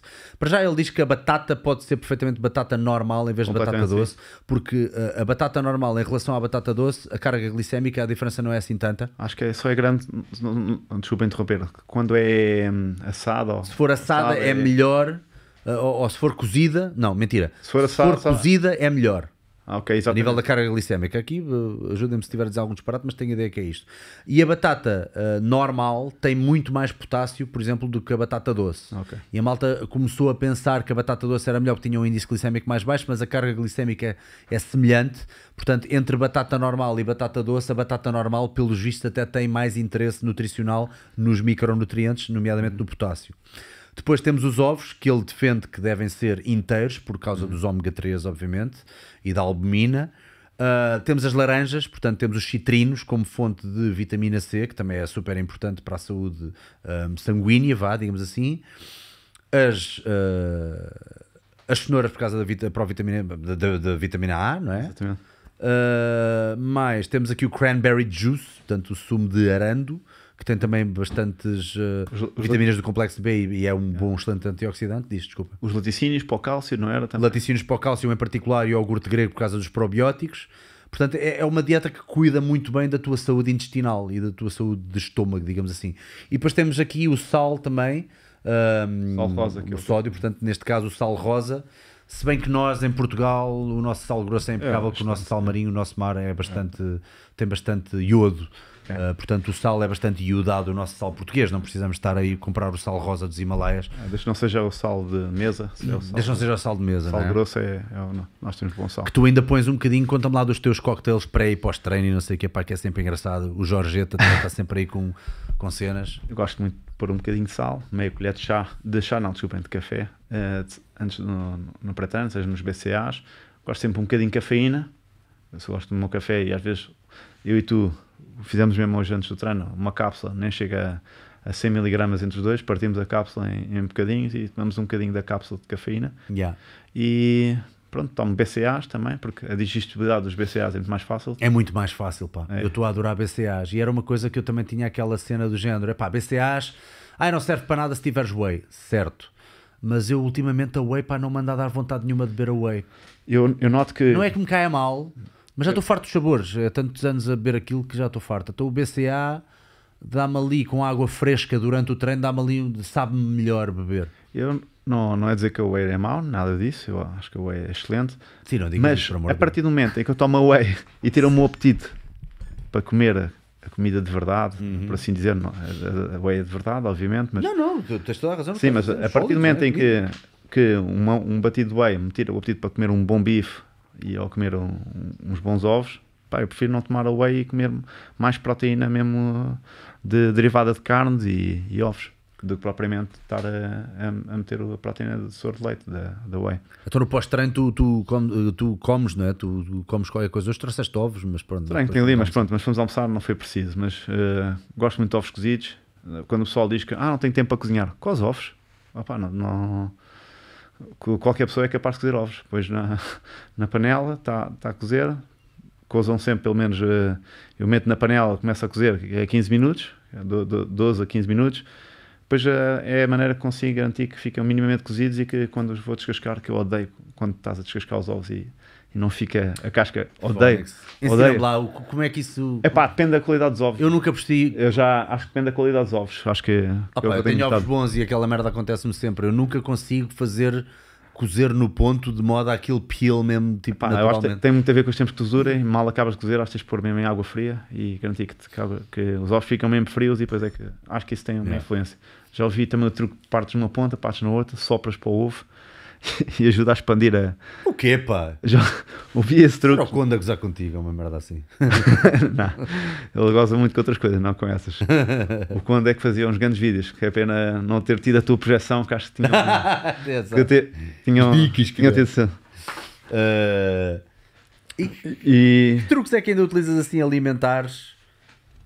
Ainda utilizas assim alguns truques, por exemplo, eu tenho um truque às vezes que é, imagina que não tenho epá, o bife que eu cozinhei, depois foi daqueles que me errou ou não ficou muito grande, eu penso, hum, está aqui a faltar alguma proteína na minha refeição, então eu pego, pego numas claras de ovo ah, da Prozis e meto tipo num- num- numa tigela, levo ah, a, a- cozinhar no micro-ondas durante 2 ou 3 minutos na potência de 900 watts e é importante ser na potência máxima, depois vocês vão perceber porquê, e fica de facto uma clara cozida, corto e meto um bocadinho de sal, ou às vezes nem meto um bocadinho de sal e meto, por exemplo, na sopa, fica uma sopa com claras, Claro. e já meti aí mais uns 10 gramas de proteína, ou 15, ou seja o que for, Também. um grande truque, um grande truque. eu também, em relação a isso, eu gosto muito, ando a gostar muito do cottage cheese, por acaso que também. Ah, o Pá, feijão. já andava a com- a comprar e por acaso no outro dia vi uma entrevista um, lá está do Zeca Vanessa, um tipo que é o Conjugated Cowboy, acho que é o nome dele, não sei. Conjugated cow. O gajo esteve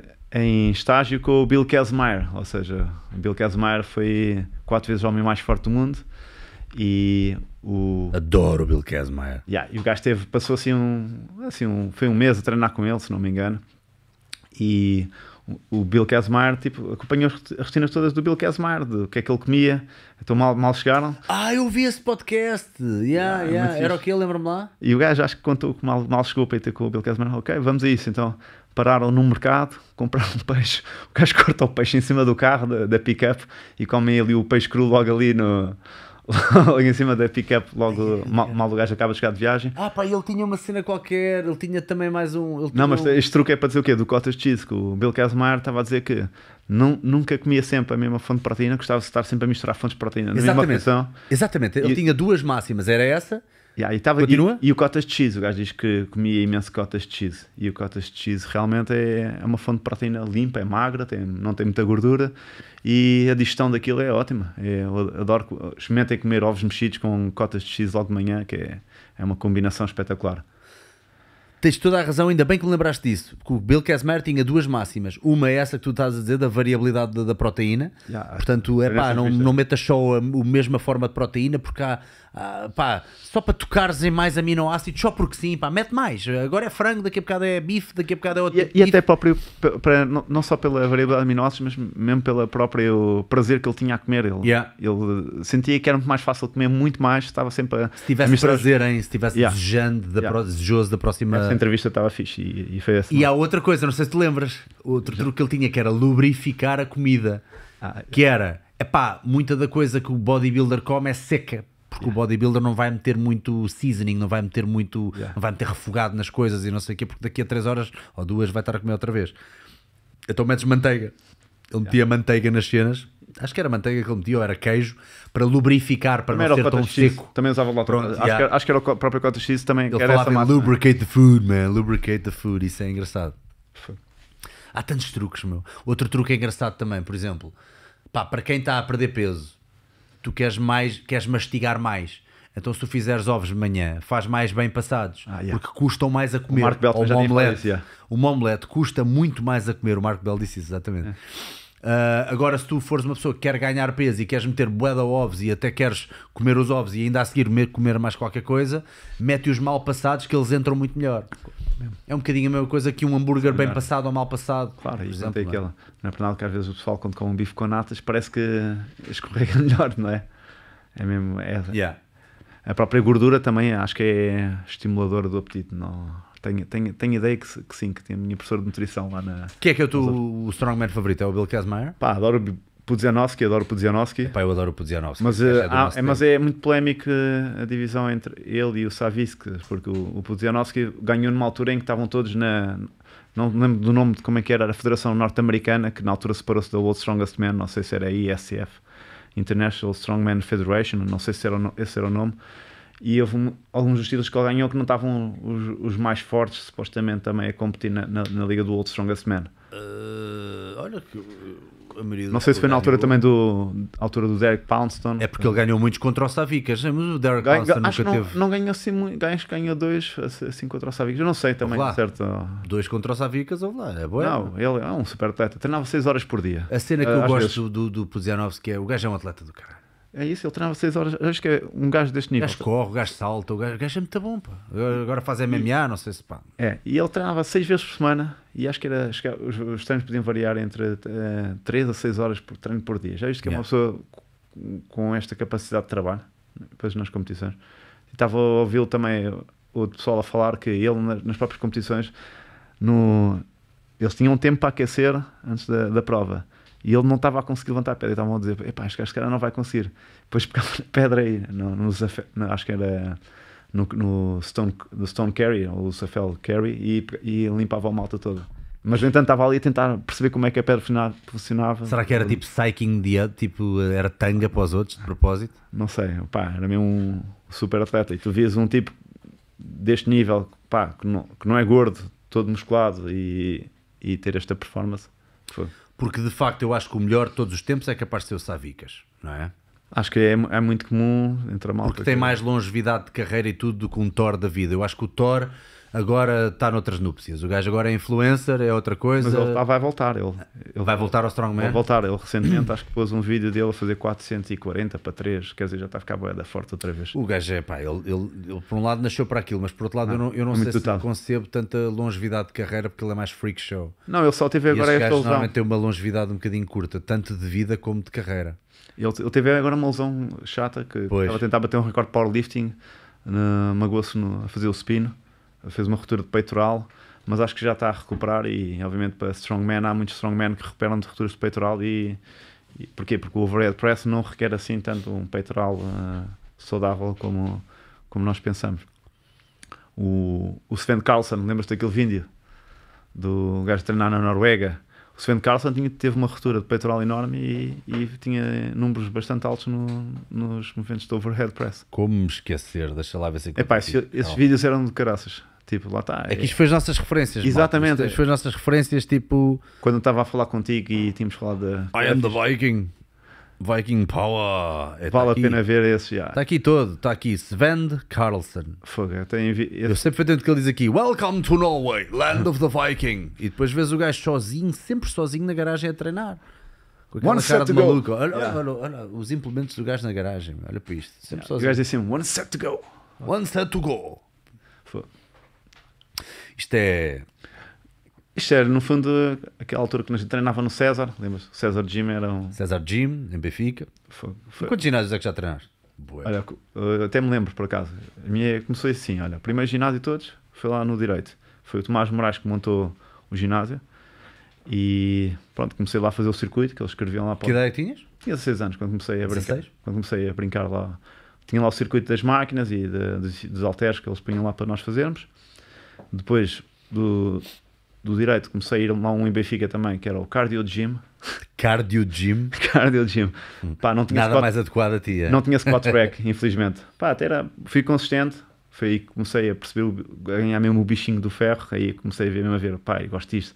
Quando começas a ver os antebraços a, a ficar com veias e, e começas a ver o pessoal aí para os cafés, mandar nights e ver cafés e, e tu começas a ganhar braço, começas mesmo, isto, isto, isto vale a pena. Yeah, yeah, yeah. E depois desse do cardio gym, Pô, café. a minha mãe ri-se bem com isso. Fui, comecei a ir ao César. César, eh, pá, muito, é que foi um, era um grande ginásio, era muito curtido. E tinha uma atmosfera fixe, vias a malta, treinava lá, não vias muitos Zé dos Cabos, era mais malta com. Zé Era tudo- dos cabos. Estavam sempre. Vocês estão a ouvir A malta- estas, deste. A malta ou treinava com halteres ou com barras, não havia cá os Zé dos Cabos da vida. Eu acho muito importante que se há, se há preconceito para a malta do ginásio, também tem que haver para os outros. o Zé dos Cabos é aquele gajo que pá, é, tipo, ele sabe o que é que lá está a Epá, fazer, só fazer. Não- otimais. nunca é um bom sinal. Nunca é um bom otimais, sinal. otimais. Nunca é bom sinal quando vês alguém passar 80% do treino dele nos cabos. Nos cabos. Tem que ser ao contrário. True. Na minha, na minha opinião, acho que tem. Pencil necks. Yeah, Pescoço de lápis. Isso, isso aí é o pior. Não, não, não- nunca serve ter um pescoço fraco. Eu acho que o homem que é homem não devia ter um pescoço fraco. É horrível. Devia ter um pescoço forte. Pá, é gajo Pronto para a mocada. jailhouse strong. Jailhouse Strong, outro bom gajo É- para seguir. Tu são lixas. Ah, pois, Jailhouse Strong. Josh Bryant. O nosso grande Josh Bryant. Josh Bryant, grande gajo para seguir também. Vocês, pá, hoje estão aqui a ter tantas pérolas, pá. Vocês aproveitem isto, hein? aproveitem que nós não duramos sempre. Mas olha, lá, Limiting Factors in Mind Muscle Connection. É este senhor aqui que tem arte quem, de Olha, quem vai bater a meio mundo. o, o gajo o gajo mais novo de sempre a fazer a 600 de bench press, que é 272 kg, se não me engano. Tinha 22 anos quando fez isso. Nem sei se há ainda aqui vídeos do gajo a treinar. Deve ver. Porque ele mete sempre outro gajo qualquer. Treina um gajo que é o Tom Ávila. É este aqui, não é? Olha para o tamanho deste. Acho que esse gajo. que farm boy. Que farm boy. Olha para isto. O que, é que tem isto na... o que é que tem isto na sua quinta, meu?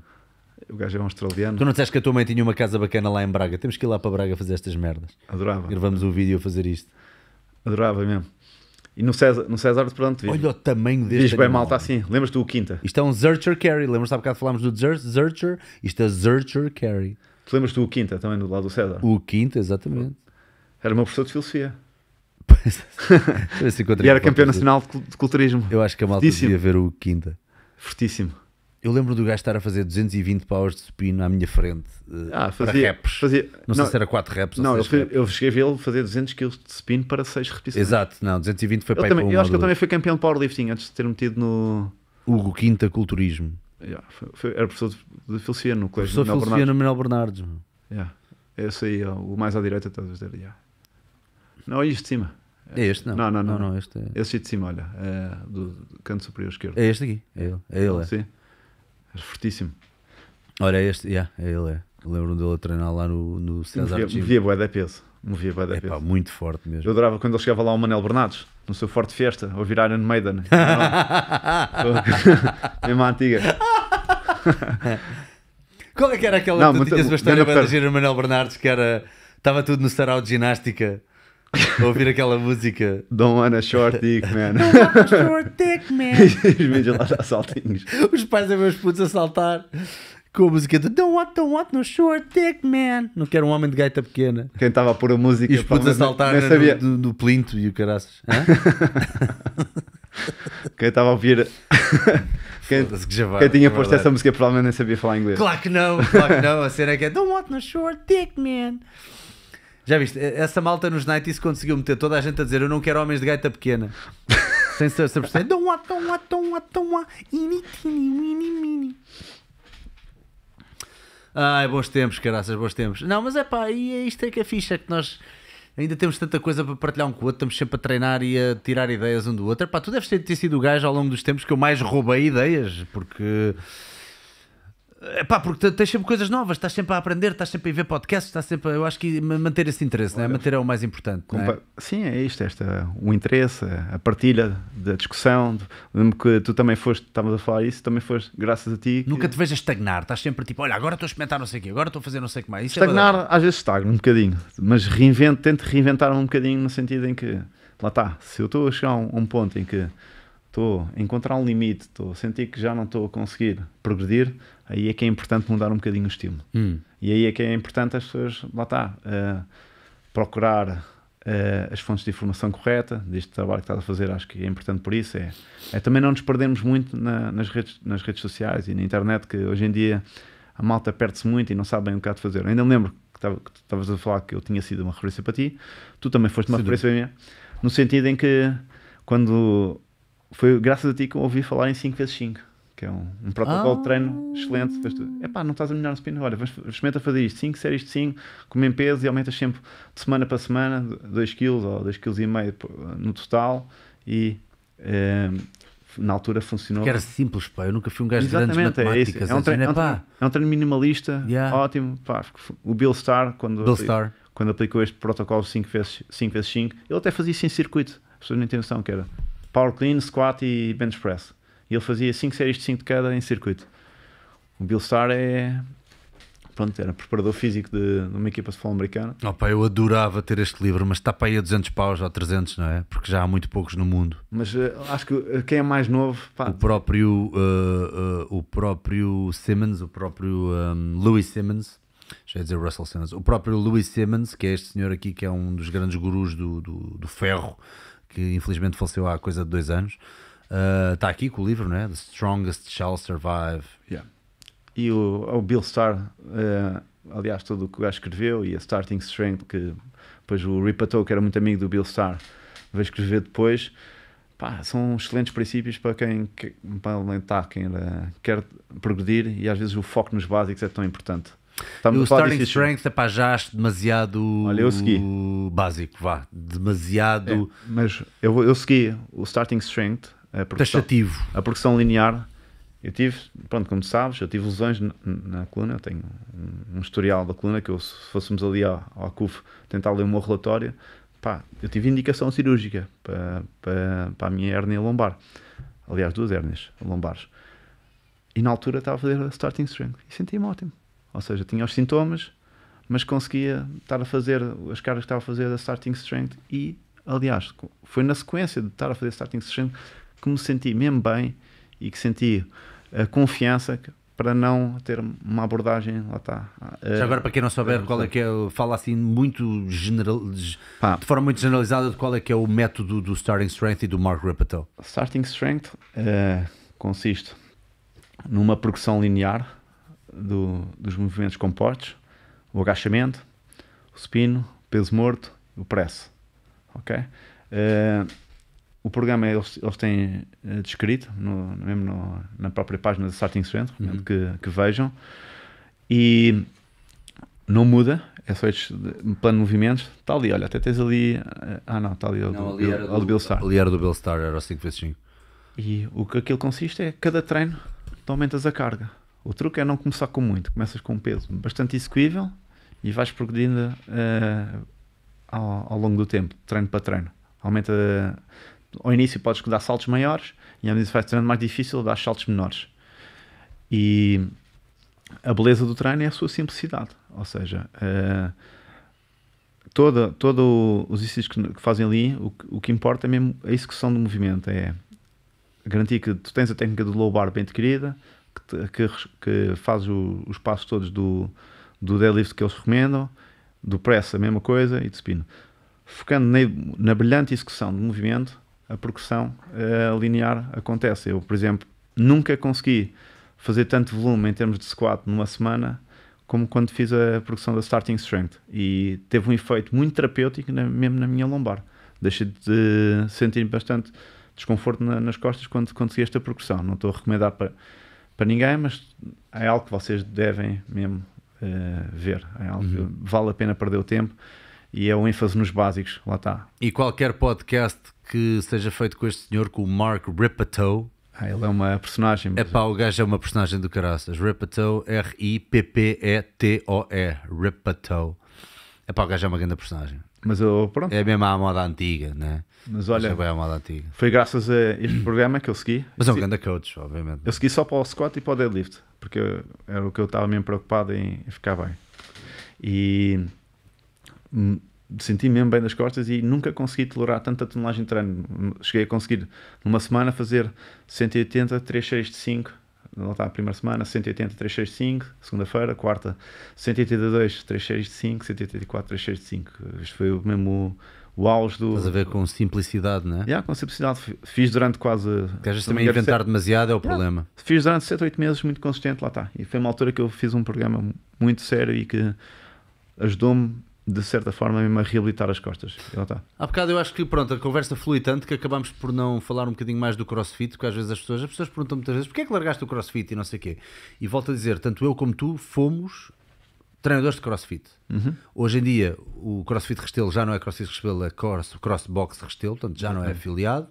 E tu dás aulas de strength and conditioning Por assim dizer, sim. e já não. É preparação física geral, estás a fazer já não é crossfit, porque já tiraste algumas coisas que eu acho que também não eram muito boas no crossfit e podemos falar disso. Mas antes de mais, podemos aqui também dar um praise ao crossfit. Tu ainda hoje estavas a dizer uma coisa quando estávamos a treinar que é.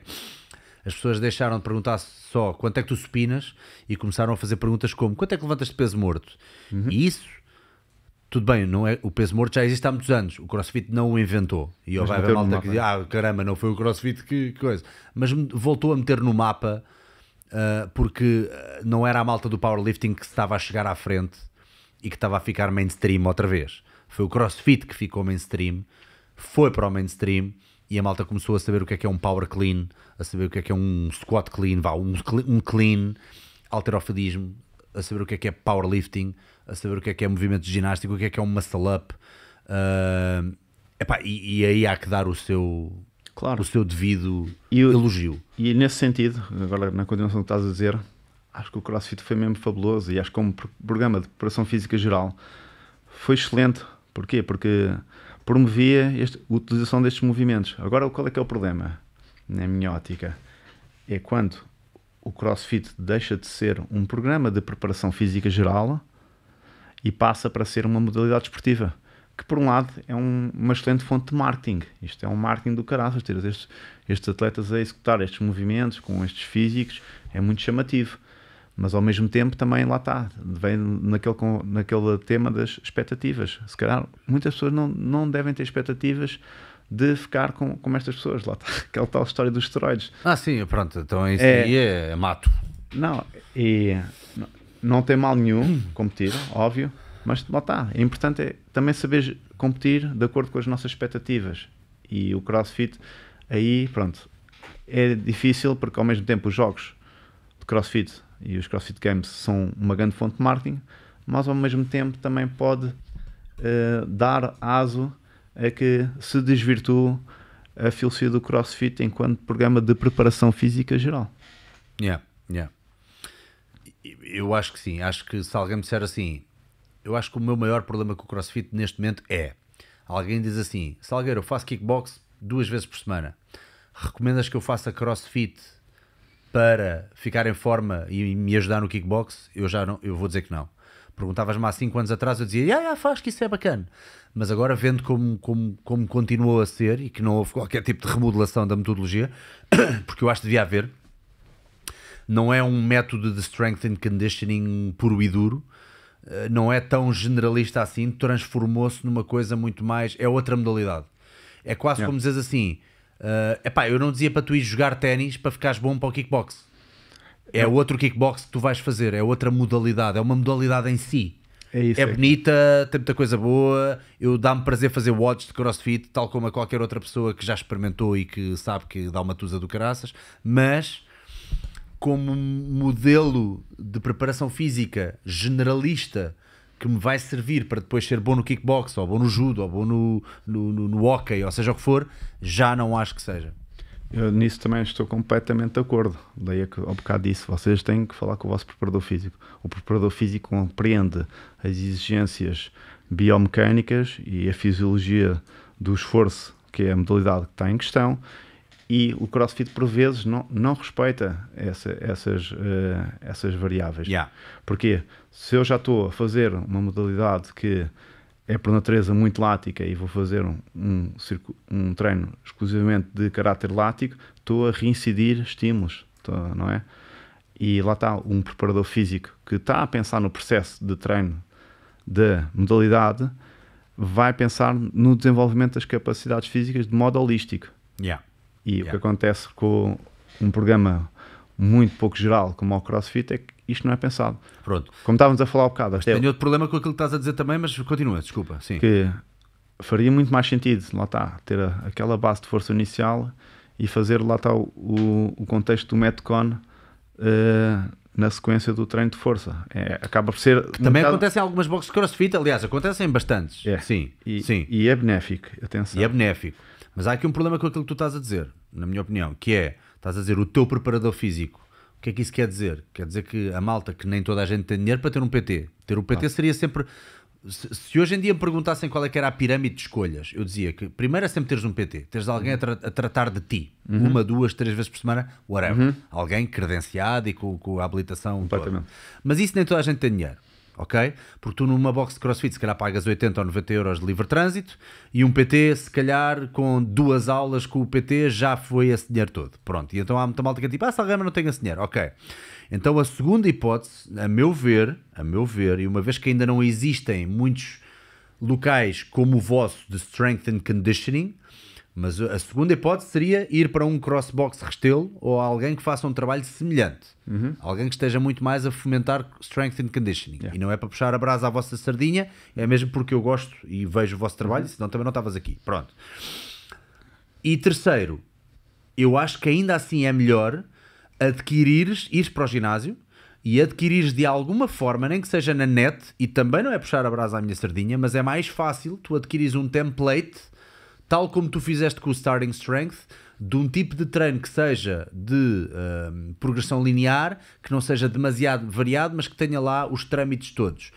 Algum trabalho de explosão para os tendões, ah, trabalho de força e depois trabalho acessório.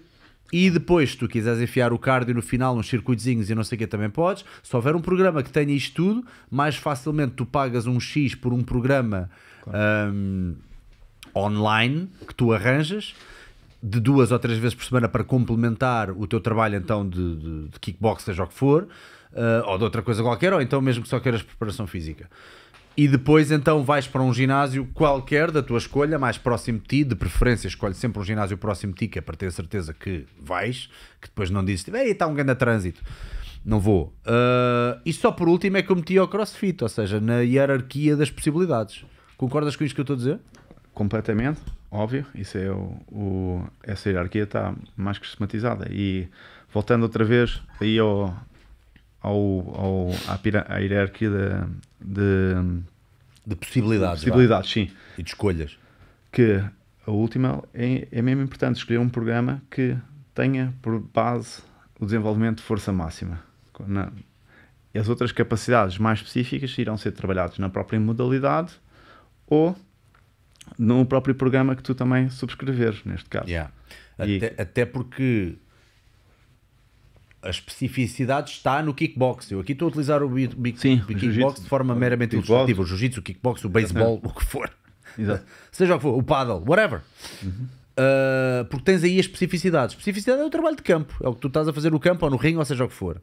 Depois o resto é a preparação física geral e aumentares. E agora tu falaste em força máxima, e ainda bem que falaste nisso, porque é aumentas o limiar da força máxima no- de forma geral, com movimentos mais padronizados de força, e o teu output de fibras musculares é superior, aumentas o teu limiar, tens uma caixa maior de ferramenta de força e de output que depois, por magia, transfere para o teu desporto e de repente estás mais forte no desporto também. E, e é isso que a investigação demonstra. Que, Yeah.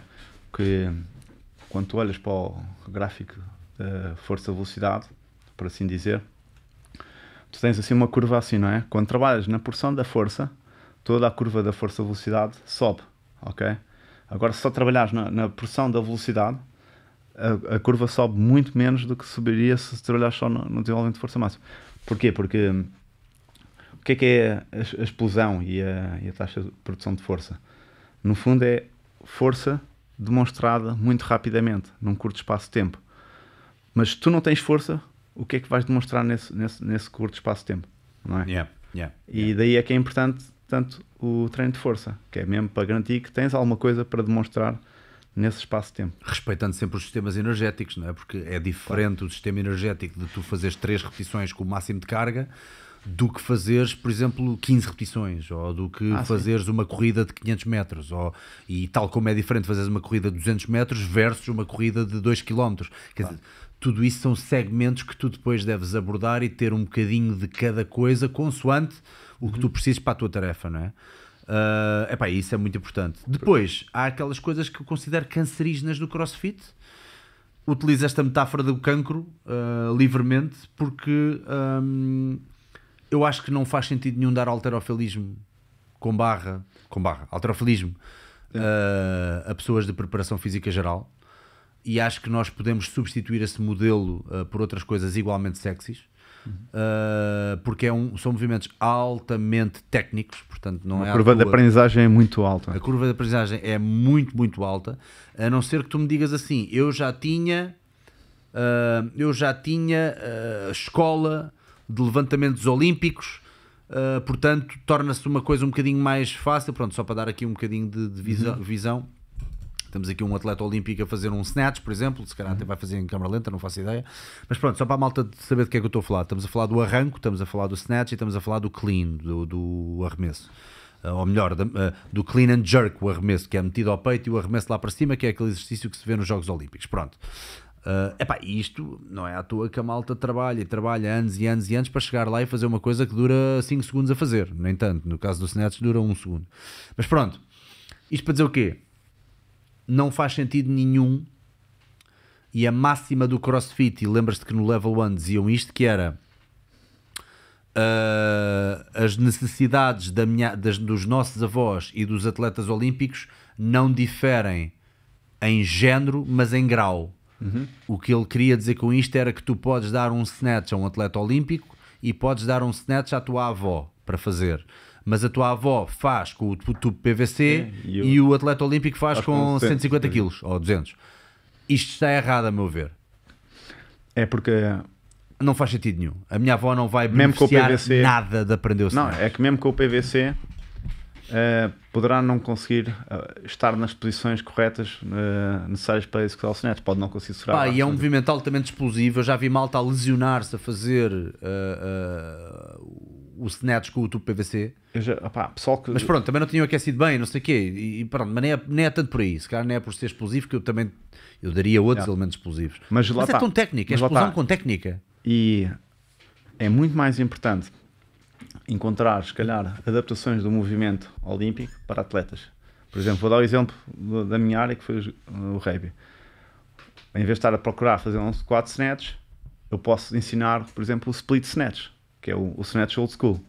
Obviamente também ainda é muito técnico, mas só estou aqui a querer fazer um ponto, que é, posso fazer modificações do exercício olímpico. E é isso que às vezes num contexto de uma aula de crossfit pode não acontecer. Eu tenho necessidade de fazer uma modificação de movimento e posso não fazer a modificação. A não ser que tenha lá um profissional que consiga dar essa atenção no meio de 15 ou 20 pessoas que estejam a fazer a aula. Yeah. Eu acho isso difícil. Mas quando o próprio programa treino é pensado para responder às necessidades específicas da modalidade, obviamente, em vez de estar a fazer um snatch, eu posso fazer um snatch pull. E assim já também. Esses é que eu acho que são mais interessantes. Obviamente. E aí. Retiras Mas- grande Mas isso, não é, mas isso não é o Olympic Weightlifting. Porquê? Porque é uma variação, É uma variação. Do, movimento Olympic Weightlifting. Mas não deixa de ser uma, um trabalho muito interessante de explosão. Exatamente, mas é uma variação do movimento de alterofilia que, no entanto, não, não é alterofilia pura e que pode ser utilizada, por exemplo, para atletas. Bem, por exemplo, eh, atletas de modalidades que envolvam muito os ombros, o snatch nunca será uma boa ideia. Um- mas é muito melhor, por exemplo, estar a trabalhar um, um power clean. Por exemplo, para jogadores de rugby, é, um power clean é um movimento excelente mesmo. Estamos aqui Ou a ver um clean exatamente. também, um clean pool, que é super interessante.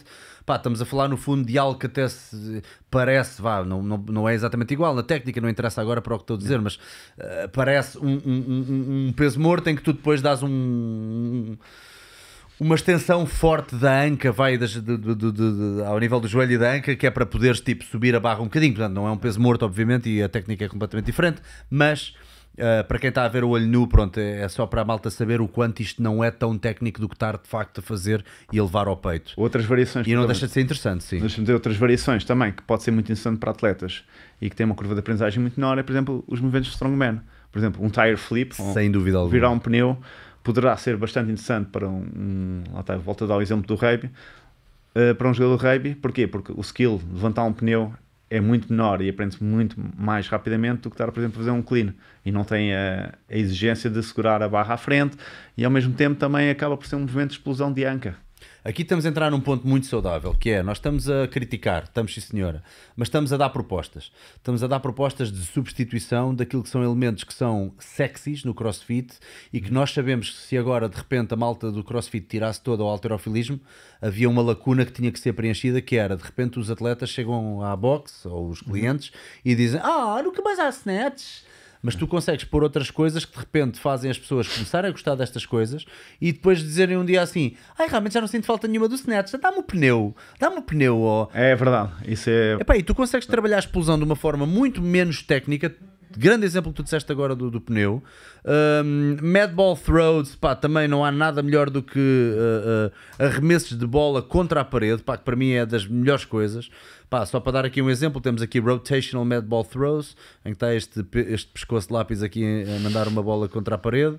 Ele até está a fazer com uma slam ball, se não estou em erro. Pá, isto não é bem aquilo que eu mais diria para fazer, mas não interessa. A malta utiliza bué. Oh, que pisse este gajo, mas pronto. mas pronto. Não, fez os gajos de lançamento de pesos. Eles utilizam muito mas pronto, a malta entende. Bolas violentas contra, contra a parede. Um, Diz, diz, desculpa. Oh, é como este gajo está a fazer, isto é mesmo assim. Olha, até mesmo próprio uh, a tira uh, do, dos barris que se viste no Strongman também pode ser utilizado para atletas. Nós, nós uh, chegámos a fazer isso também, de pegar num peso, 8, 10 quilos, e atirá-lo acima da cabeça. Também é uma, uma variante ótima e, e, alternativa, por exemplo, ao clean. O grande Phil Daru, que também já esteve aqui em Portugal e que eu acho que é uma página excelente para seguir, um canal de YouTube muito uhum. bom, Daru Strong, D-A-R-U.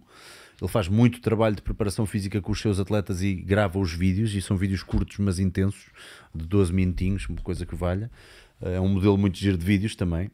Um, mais Kettlebell. kettlebells e complexos ah, de kettlebell. É. Acho super interessante como primeira componente de treino.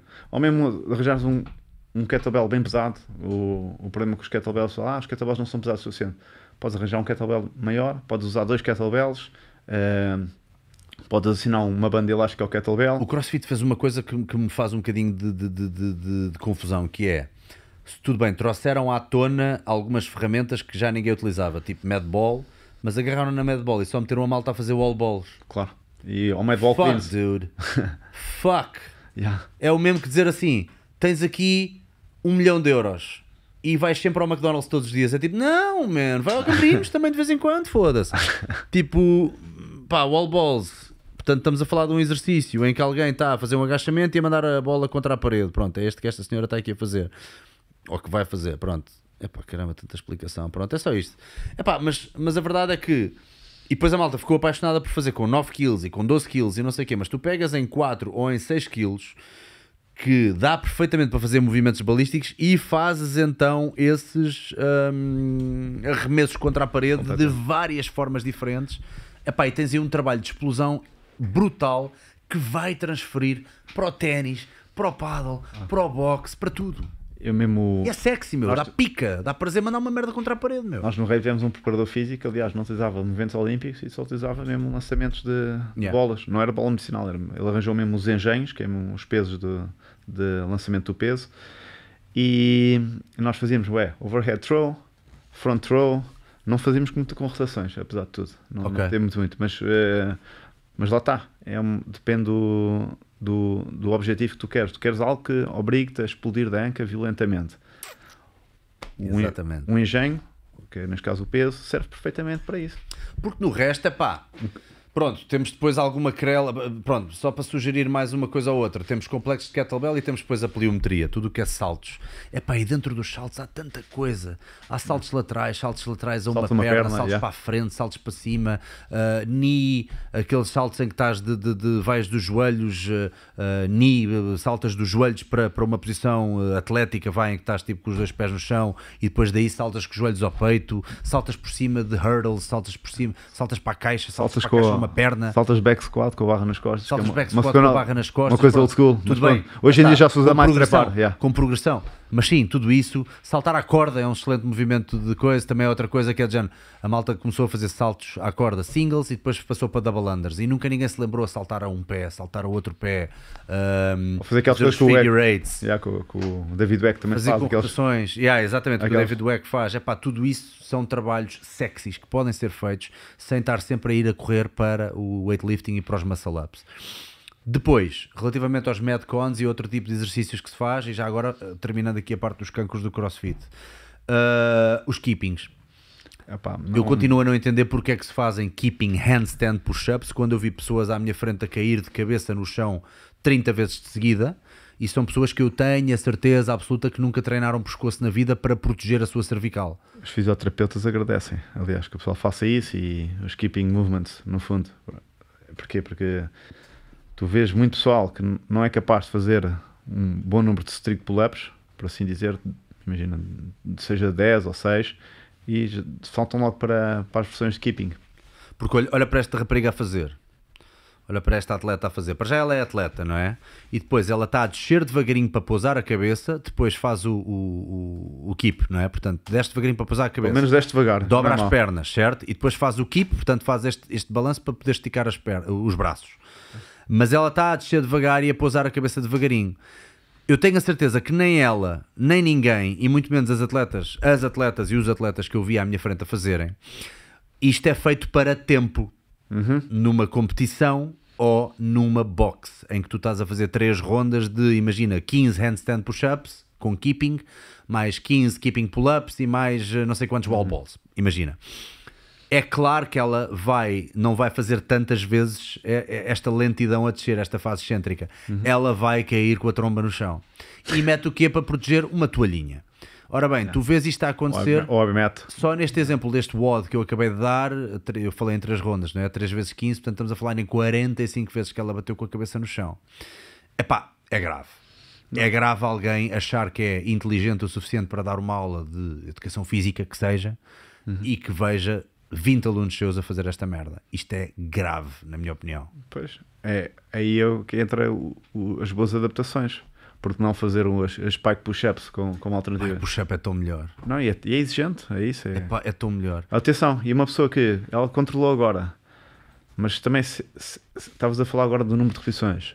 Ela é capaz de controlar a descida, mas não consegue fazer força para cima. Ou seja, o que é que isto diz? Tem ali um déficit de força. Uma pessoa que tem um déficit de força, fazer 45 repetições excêntricas, não é? Que era o que tinha falado, 3 rondas de 15. 45 repetições excêntricas, imagina o dano muscular que vai, que vai surgir e, o- e o custo de recuperação que vai sair desse treino. Pá. Só porque, só porque dá, dá ênfase à fase excêntrica de uma carga que ela não consegue produzir força de modo concêntrico. E, e a verdade é que ela depois, a, a bem, a bem dizer da eficiência que ela quer fazer o máximo de reps no mínimo tempo possível, ela vai cagar para a fase excêntrica. Porque é mais inteligente cagar para a fase excêntrica. Sim. Para poder prosseguir em frente. Não é? E é por aí que eu estou a dizer. Ahm, epá, e pronto, e aqui temos sempre bons exemplos. Nos scalings o CrossFit sempre teve muito bem. Porque Então de repente tens isso, aqui este, é, exato, mas também. este, estes spike push-ups em que a malta metia os pés em cima da box. Epá, isto Aos é joelhos, ótimo. Isto é ótimo, isto é um grande exercício. Pá. Isto é o melhor exercício É isso, é, é com poucos recursos conseguem utilizar, pá, para o pessoal fazer um. Não sei se um ela pôs a miúda a fazer mesmo a flexão, mas creio que sim. Pronto, está aqui. Pá, estão a ver, não é propriamente uma atleta Não, então, eh, intergaláctica que está a fazer isto, é uma miúda normal, pá, que gosta de treinar e que está a fazer com relativa facilidade o movimento. Portanto, é muito melhor eh, optar por isso e, sinceramente, eu não ia muito mais longe do que isso. Nomeadamente, se Mas calhar uma vezes- forma depois é fazer com déficit, isso é bacana também. Mas isto também é, pronto, é a própria cultura que às vezes é o problema, porque tu acredito que haja profissionais que dizem, pá, não faças assim, faz com a adaptação. Yeah. Ah, não, eu consigo. Quantas vezes é que tu já não ouviste isso? Pessoal, pá, que está claramente em sofrimento, está claramente a fazer mal, tu dizes, não faças isso, e até tens de zangar, às vezes. E depois eles às vezes ficam zangados contigo, no sentido em que tu estás a, a nivelar por baixo. E Porque depois preferem ir para uma box onde os deixam fazer essas merdas Yeah. à vontade. E isso é que me chateia. Mas tudo bem, epá, isso aí é prerrogativa deles. Yeah, Estamos pá, aqui para exatamente. fazer o nosso melhor. sim, nós fazemos o nosso trabalho. Agora. Uh, acho que sim, acho que isto é, é uma conversa interessante e é uma conversa onde as pessoas podem retirar muitas ilações. Acho que vamos tocar em algumas pessoas que têm a nossa idade, umas pessoas mais avançadas, mas uh, regra geral, acho que conseguimos mostrar tanto àqueles que ainda são novatos como àqueles que já são experientes, uh, mais ou menos do que nós, um, que há sempre vários caminhos e quais é que são as possibilidades e, pá, e o céu é o limite no que diz respeito a strength and conditioning. Por isso, obrigadão. E a vocês quero dizer que, epá, dicas de meu. Vocês treinam a partir de casa, treinam comigo, três vezes por semana, às 18h30. hã? Eu vou ter a vossa casa, querem mais o quê? Às 18h30 vocês estão via Zoom a levar comigo ou com o Luís Morgado, que também dá os treinos comigo. Epá, e temos todas estas nuances dentro desses treinos. Até porque vocês, aqueles halteres que têm a ganhar ferrugem, ou a bicicleta que está lá podre e que estão a utilizar como, como cabide, vocês podem utilizar, tudo isso é válido para os treinos. Eu estou sempre a dar opções. Ah, e mesmo que não possam às 18h30, vocês vão ao site dicastalgar.pt, vão ao login da área de cliente e tem lá os treinos todos, ou seja, vocês podem fazer à hora que vocês quiserem. Não tem que ser às 18h30, porque às vezes a malta ainda está no, no trabalho ou está a cuidar dos filhos, ou seja o que for. Hum, outra coisa também é a aplicação de treinos, de programa de treino para ginásio, que se vocês forem, para já vai estar aqui na descrição o link, mas se vocês forem a dicasdesalgueiro.pt e forem à secção loja, vocês têm lá, loja é logo o primeiro produto. E temos um plano de treino para máquinas de guerra, que é mesmo assim, que é o plano de treino que eu acho que é mais completo, que tem um bocadinho tudo isto que nós estávamos a falar, e que é, neste momento é 5 vezes por semana, mas com um deles que é mais recuperação ativa e mobilidade. E depois temos um programa para mulheres, que é as guerreiras do Salgueiro, que normalmente acabam por ter vontades, digamos assim, dentro do fitness um bocadinho diferentes e se calhar não querem tanta hipertrofia do tronco, ou dos trapézios, ou dos braços, e querem um bocadinho uma hipertrofia mais direcionada para glúteos, para pernas, se calhar um bocadinho mais de trabalho de core, um bocadinho mais de cardio e mobilidade, tudo isso está, hum, tudo isso está confeccionado na, na programação das guerreiras do Salgueiro. Portanto, escolhe o teu veneno, vai então ao site que está aqui na descrição e epá, escolhe o teu veneno porque por 15 dólares mensais, 15 dólares mensais, podes ter uma programação de treino uh, que tu utilizas então no ginásio uh, e que consegues aplicar também mesmo se fizeres outros desportos, tal como nós falámos há bocado. É isso e é o código Salgueiro na Semperfit. Todo o material de ginásio que tu comprares, semperfit.pt, tens 10% de desconto com o cupom Salgueiro. E tens ainda a Prozis com o cupom Salgueiro ou a Salgueirão que te dá 10% de desconto mais ofertas. Portanto, continuem a utilizar os cupons uh, porque nós estamos sempre a tratar de vocês nesse departamento. Malta, portem-se bem, façam like, partilhem e até ao próximo. uh, até à próxima javardice. Treino Javarde, vá, um abraço.